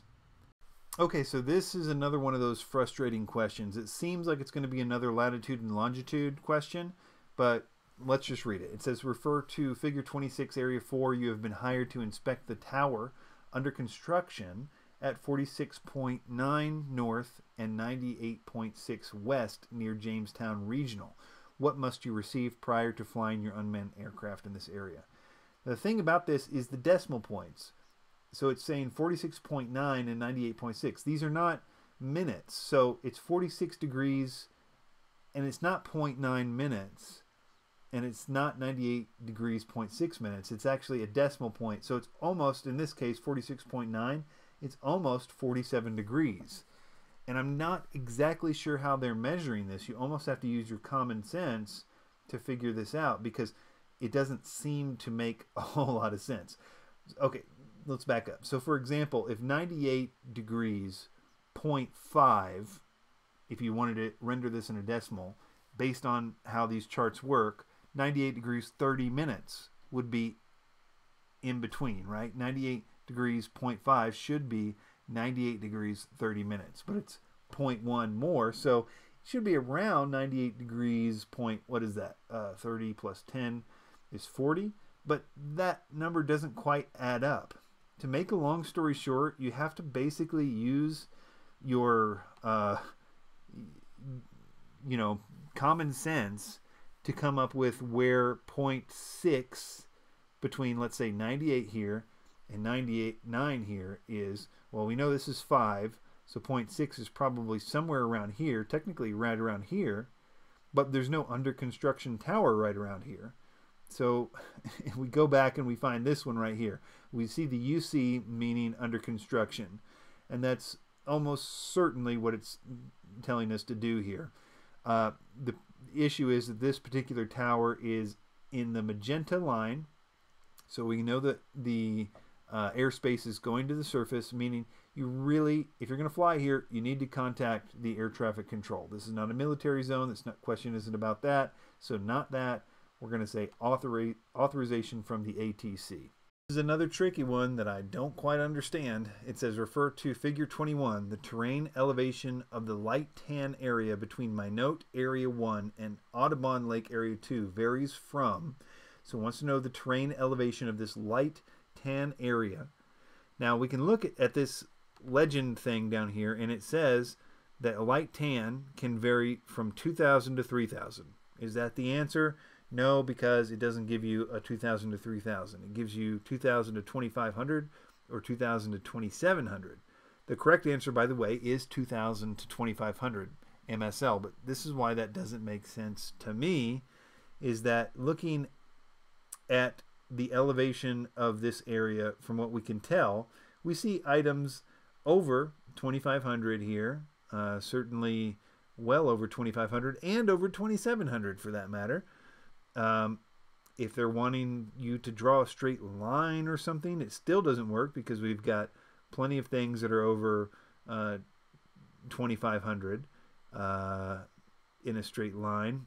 We see that 2800 is what it's clearly telling you to fly over. Uh, the highest elevation in this area is, uh, you know, these 28s. So really nothing makes sense on this. I have no idea why the correct answer is 2,000 to 2,500 feet. And it's not just me. I've been looking at some forums to try to figure this out. And people are just having trouble with this question. And I honestly don't know what to tell you about why the correct answer to this particular question is 2,000 to 2,500. But basically, if if you know, please describe it in the comments because I and many other people are at a loss for, this particular question.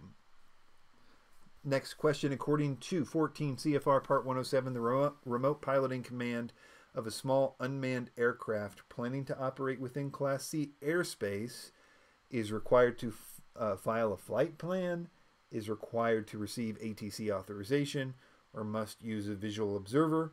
This is a pretty common sense one if you understand the basics. If you're going to fly in Class C airspace, you need to get air traffic control authorization. Which crew member must hold a remote pilot certificate with a SUAS rating? And that's going to be the remote pilot uh, in command. And the final question under what condition should an operator of a small UA established scheduled maintenance or protocol? So basically, you need to inspect your drone before every flight and you need to have a scheduled maintenance protocol. If your manufacturer, if DJI or whatever, does not include in the instructions a maintenance protocol that you need to follow, then you need to create your own maintenance protocol and you need to create your own um, checklist, flight checklist, or whatever. So the answer to this is when the manufacturer does not provide a maintenance schedule, um, is the answer to that question. All right, this next question. You are a part of a news crew operating at SUAS to cover a breaking story. You experience a flyaway during your landing. An unmanned aircraft strikes a vehicle, causing approximately $800 worth of damage. When, you, when must you report the accident to the FAA? Let me also talk about a flyaway here, something that they may want you to know. Flyaways happen a lot of times because you get too close to a building or something that has metal in it or some other kind of magnetic interference and the compass in your drone will go crazy. It'll point you know all kinds of different directions causing your drone to have to self-correct to try to deal with what it thinks is happening and it can cause all kinds of problems. It can fly away. So they actually will ask you questions about that. You need to know that that's essentially what's happening.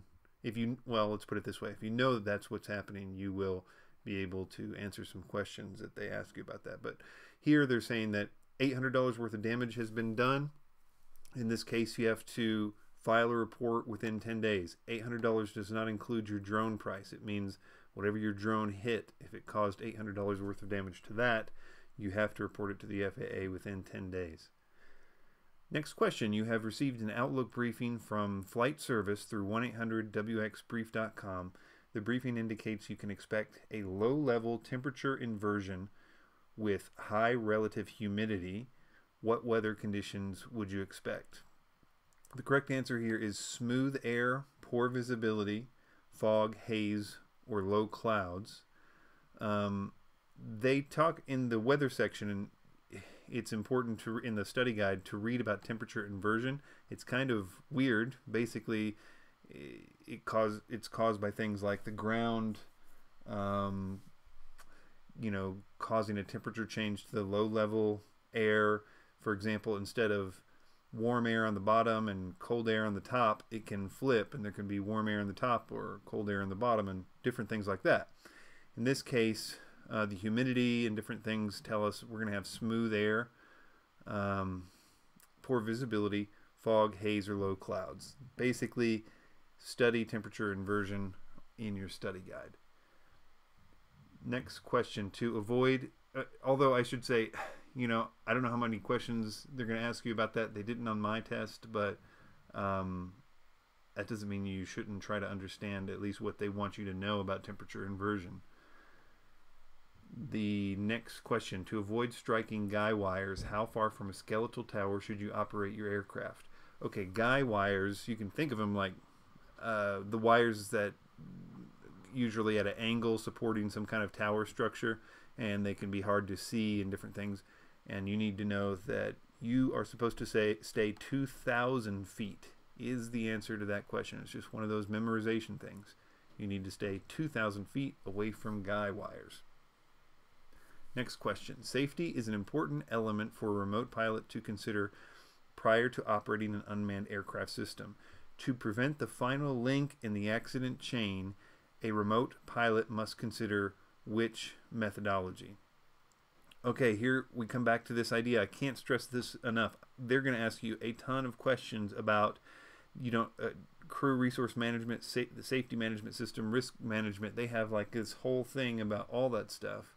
And the main thing that you need to do is know, I mean, you need to read through that section, you really do, and know exactly, I mean, you don't have to memorize the acronyms and everything, but you need to know what acronym uh, that they come up with for, like, example, PAVE, P A V E.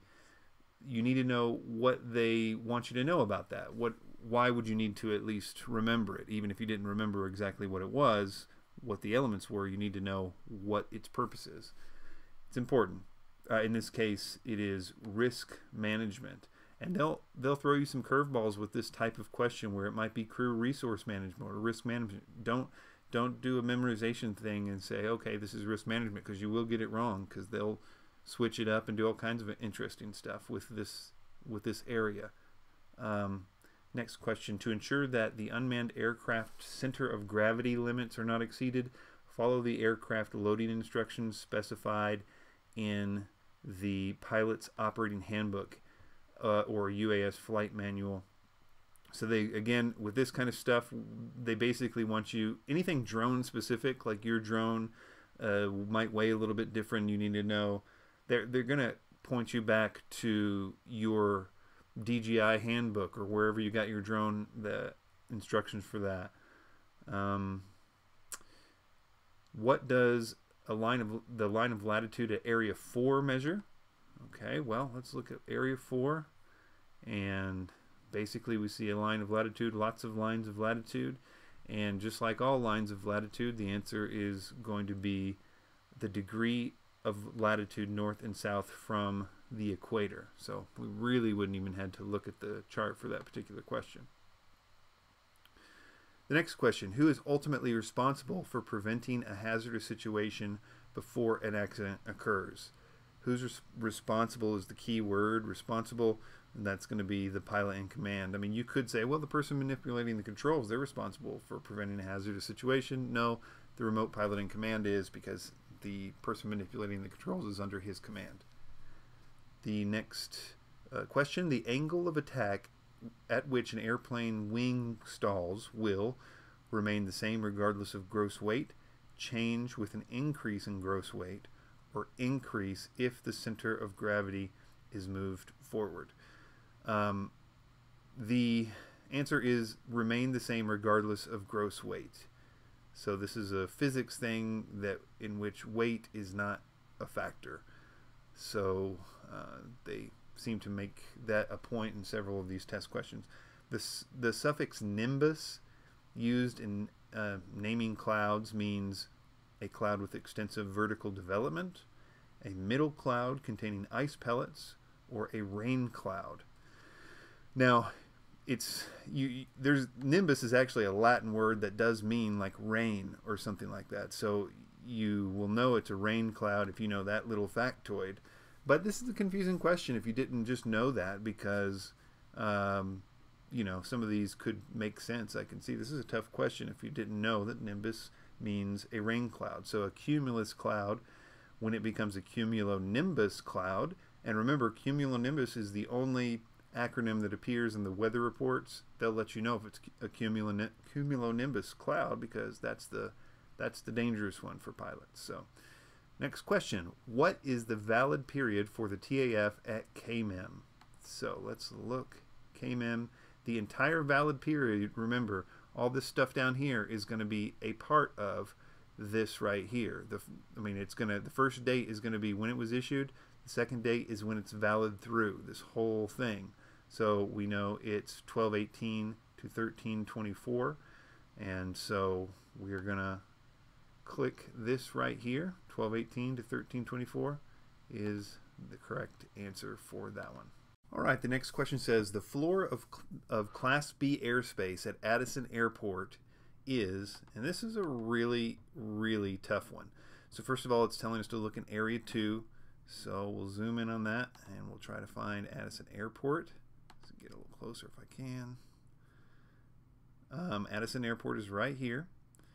Um, now this is very, very, very tricky. So they've done a number of things here. You can see we would be tempted with this dotted line, which generally means it's going to be starting at the surface. And here's the airport. Keep in mind, you've got to look for where the runway is, or Addison's runway, and in this case it's right here. But this dotted line does not seem to continue, at least I can't see this dotted line continuing into this airspace. So this airspace is actually a part of in, in this blue solid line. Now, what does that mean?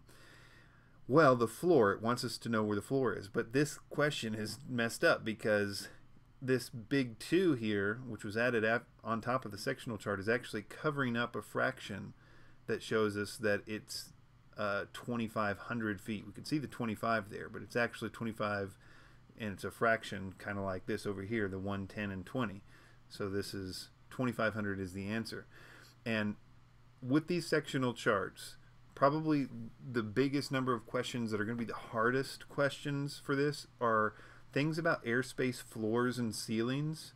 And, you know, when, when you're looking at solid line airspace like this, you usually want to look for a fraction like this to tell you what the floor and ceiling is. This is going to be mean sea level numbers.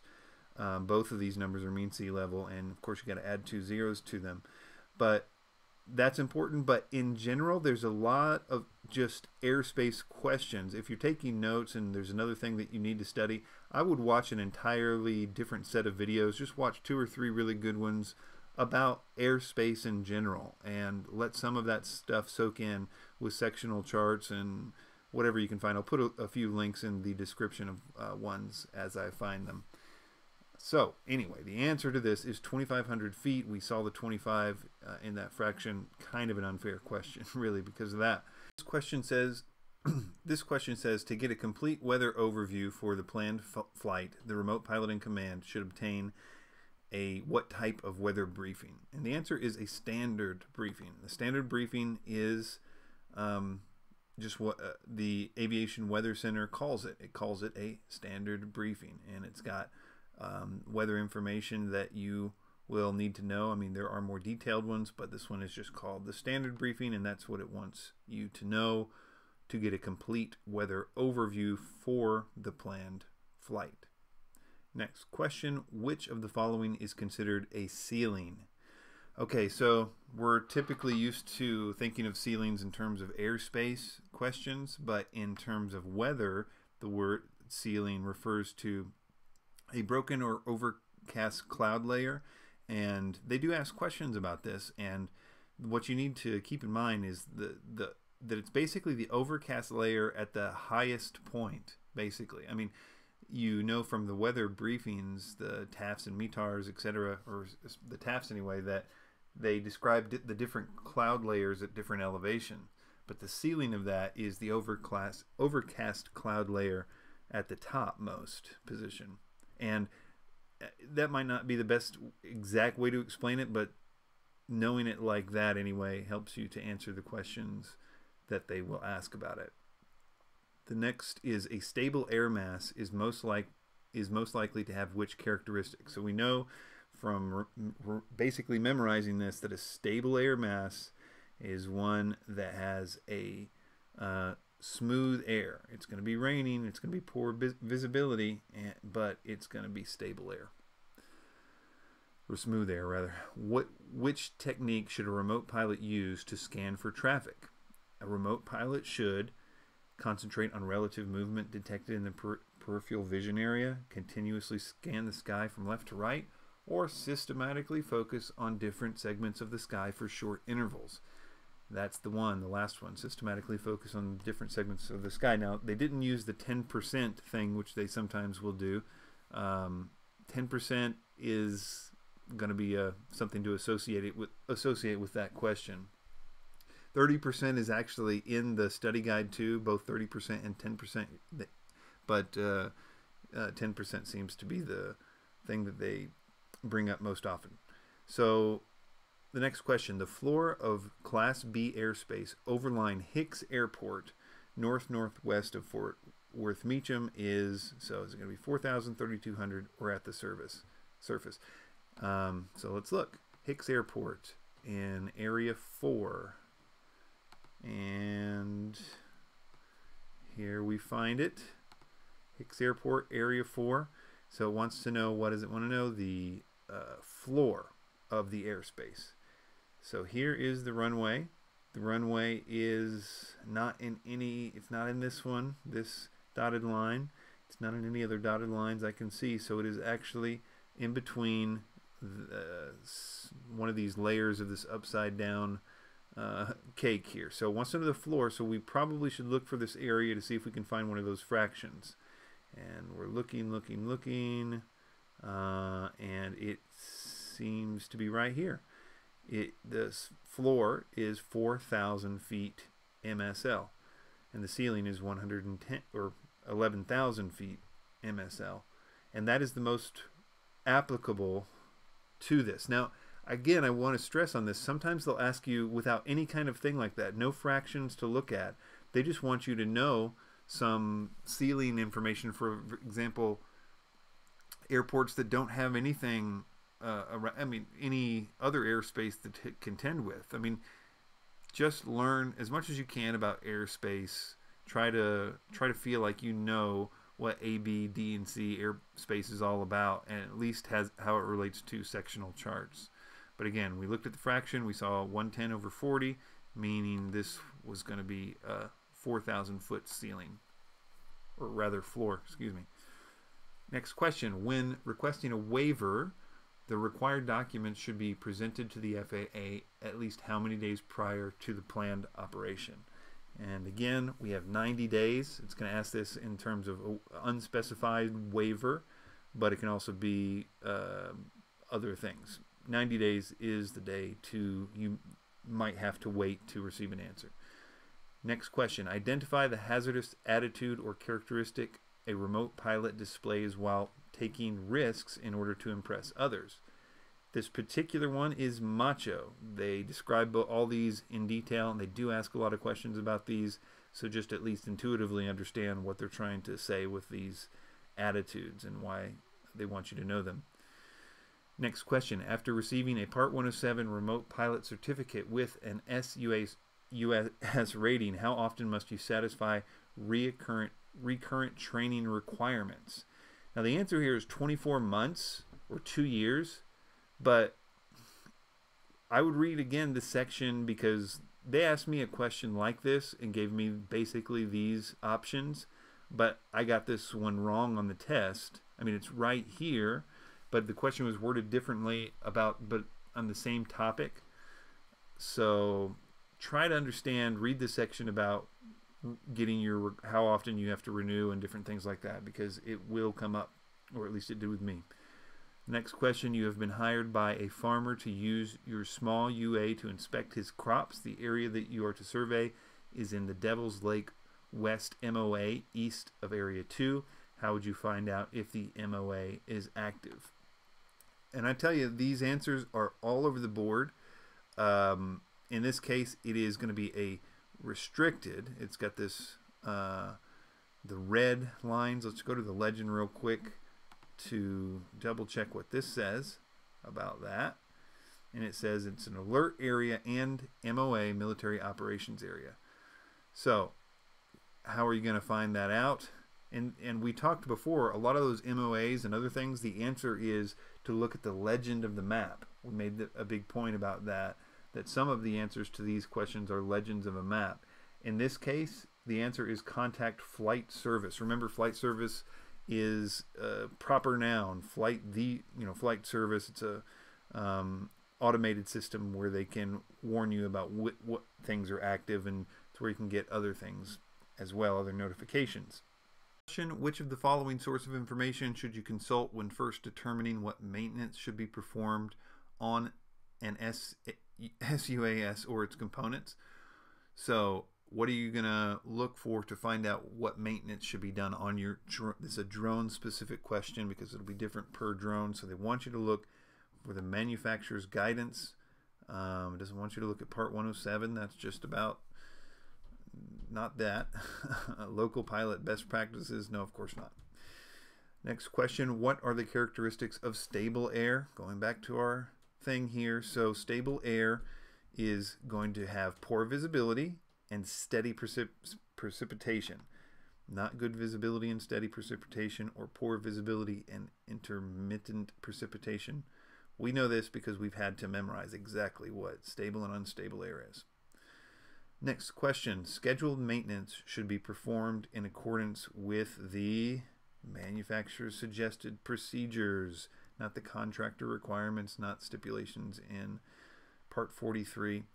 What are characteristics of unstable air? So unstable air, we're happy to be outside. We've got some turbulence though because of that those upward moving drafts, but we do have good surface visibility. This question is important to know about. It says the control tower frequency for Addison Airport is now we look at Air, uh, Addison Airport in area 2 so let's find it. Here it is and here is the information they, they want you to know. We see the C and we know that the answer over there is to the left and the ATIS is to the right. Now they'll ask you a lot of questions about these two different things. You need to kind of know what these are and how to find them the C, again, we look at the legend, it'll say it's a CTAF, and that's a common traffic advisory something. And basically what that means is, or frequency, I guess is the last one. And you find that to the left, and it, it's where pilots can announce their intentions. Uh, I'm about to take off, I'm about to land, I'm going to enter traffic, whatever. Any that's where they announce their intentions, and that's important for you because if you had, let's say, a radio or something, you could know that there was a plane taking off because they it's a public party line kind of thing. ATIS, on the other hand, the A stands for automatic uh, terminal something I don't know, but basically what it is is a recorded automatic free, uh, radio transmission that has general information about the airport, and that can include the weather conditions, which runways are open, um, you know, NOTAMs or anything that people might need to know. And the reason that they have this automated system for approaching aircraft to just listen to about that airport is that it reduces, basically reduces the workload for the people in the tower. And sometimes you can't even contact a person in the tower. So uh, the ATIS gives them the general information and then the CTAF is where you can announce your intentions to um, enter that airspace or blah blah blah. So the answer to this question, of course, is well the way they acted is asked it is a little confusing. The control tower frequency for Addison Airport is, and I mean technically, uh, but it's 126.0. It's the CTAF they're looking for, the control tower frequency. So that is here. Next question, which would most likely result in hyperventilation? Here they want you to know that hyperventil hyperventilation can happen as a result of emotional tension, anxiety, or fear. They don't want you to get too scared and then hyperventilate. That's the answer that they want for the cause of hyperventilation. But technically, of course, hyperventilation is caused by uh, too much oxygen in your bloodstream. Um, I guess that's the I don't know. You get the point. Next question. The chart shows a gray line with VR1667, VR blah blah blah, these VR numbers. Could this area present a hazard to the operations of a small uh, UA? So let's take a look. Okay. There's no figure there. There we go. Area 2. And here is what they're talking about. And when you see these, these black lines like this, we could look at the legend but they are military training routes. Four of them really close together. Sometimes there's just one. In this case, there's four close together.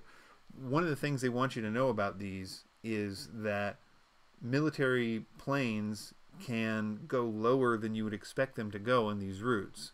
Um, sometimes it's not exactly clearly specified because it's a military training route and they can do a lot of different things there. So they will want you to know that, and sometimes it comes up in the answers.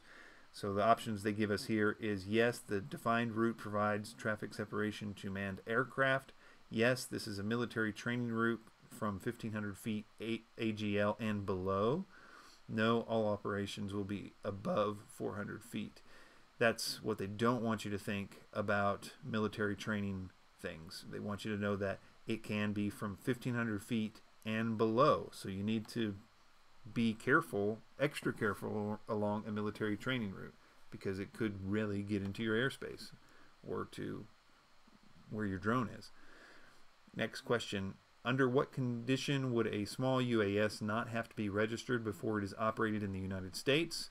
Here, it's only going to be if the aircraft weighs less than 0.55 pounds on takeoff, including everything that is on board or attached to the aircraft. So only if you basically have a little toy that um, really is just not even a drone.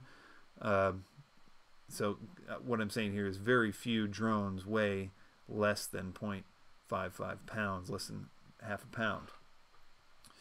So you do not need to register that one. What is the floor of the controlled airspace along V15? Okay, let's take a look. Okay, V15 is a little different. It's this blue line, and it's not going to tell you what the floor is here. This is like, think of it like an interstate for um, airlines and things like that. These are like commonly common routes that they take from place to place. And they're not going to be flying too low. In fact, it's going to be 1,200 feet AGL. Um, and it's just going to be a number that you kind of have to remember with that. The floor of those, I mean, you can fly, of course, an, under a drone, it's no big deal, but you do need to pay more attention because who knows what could happen. The plane could be having trouble or whatever. So 1,200 feet AGL is the floor of that airspace, but it is a common uh, traffic area.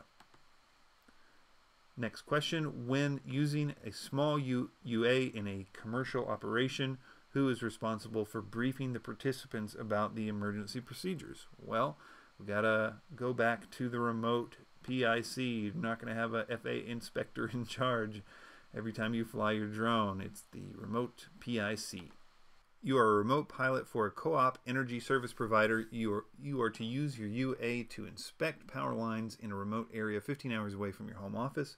After the drive, fatigue impacts your abilities to complete your assignment on time. Fatigue can be recognized as being an impaired state. They want you to know that being tired, in the same way they want you to know that you can take over the counter drugs or um, any kind of medication can actually impair your state. They want you to just know that, like, as broad as possible, there are things that can impair you to flying safely. Next question outside control hours, Class D airspace is, you know, these questions, I didn't get a question like this, but wait, did I?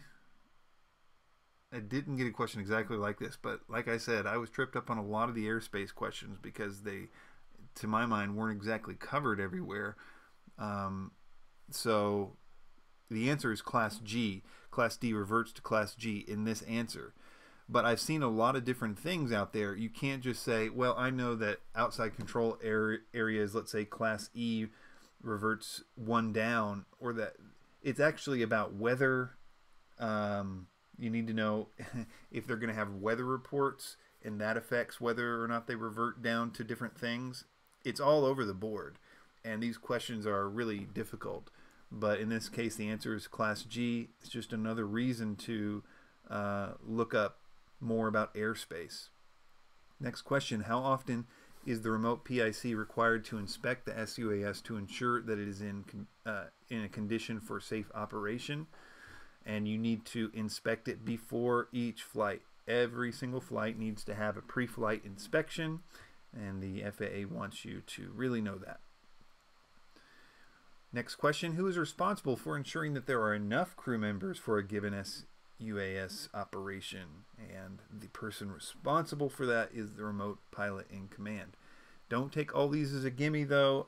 Make sure you read the question and make sure you know exactly what it's asking.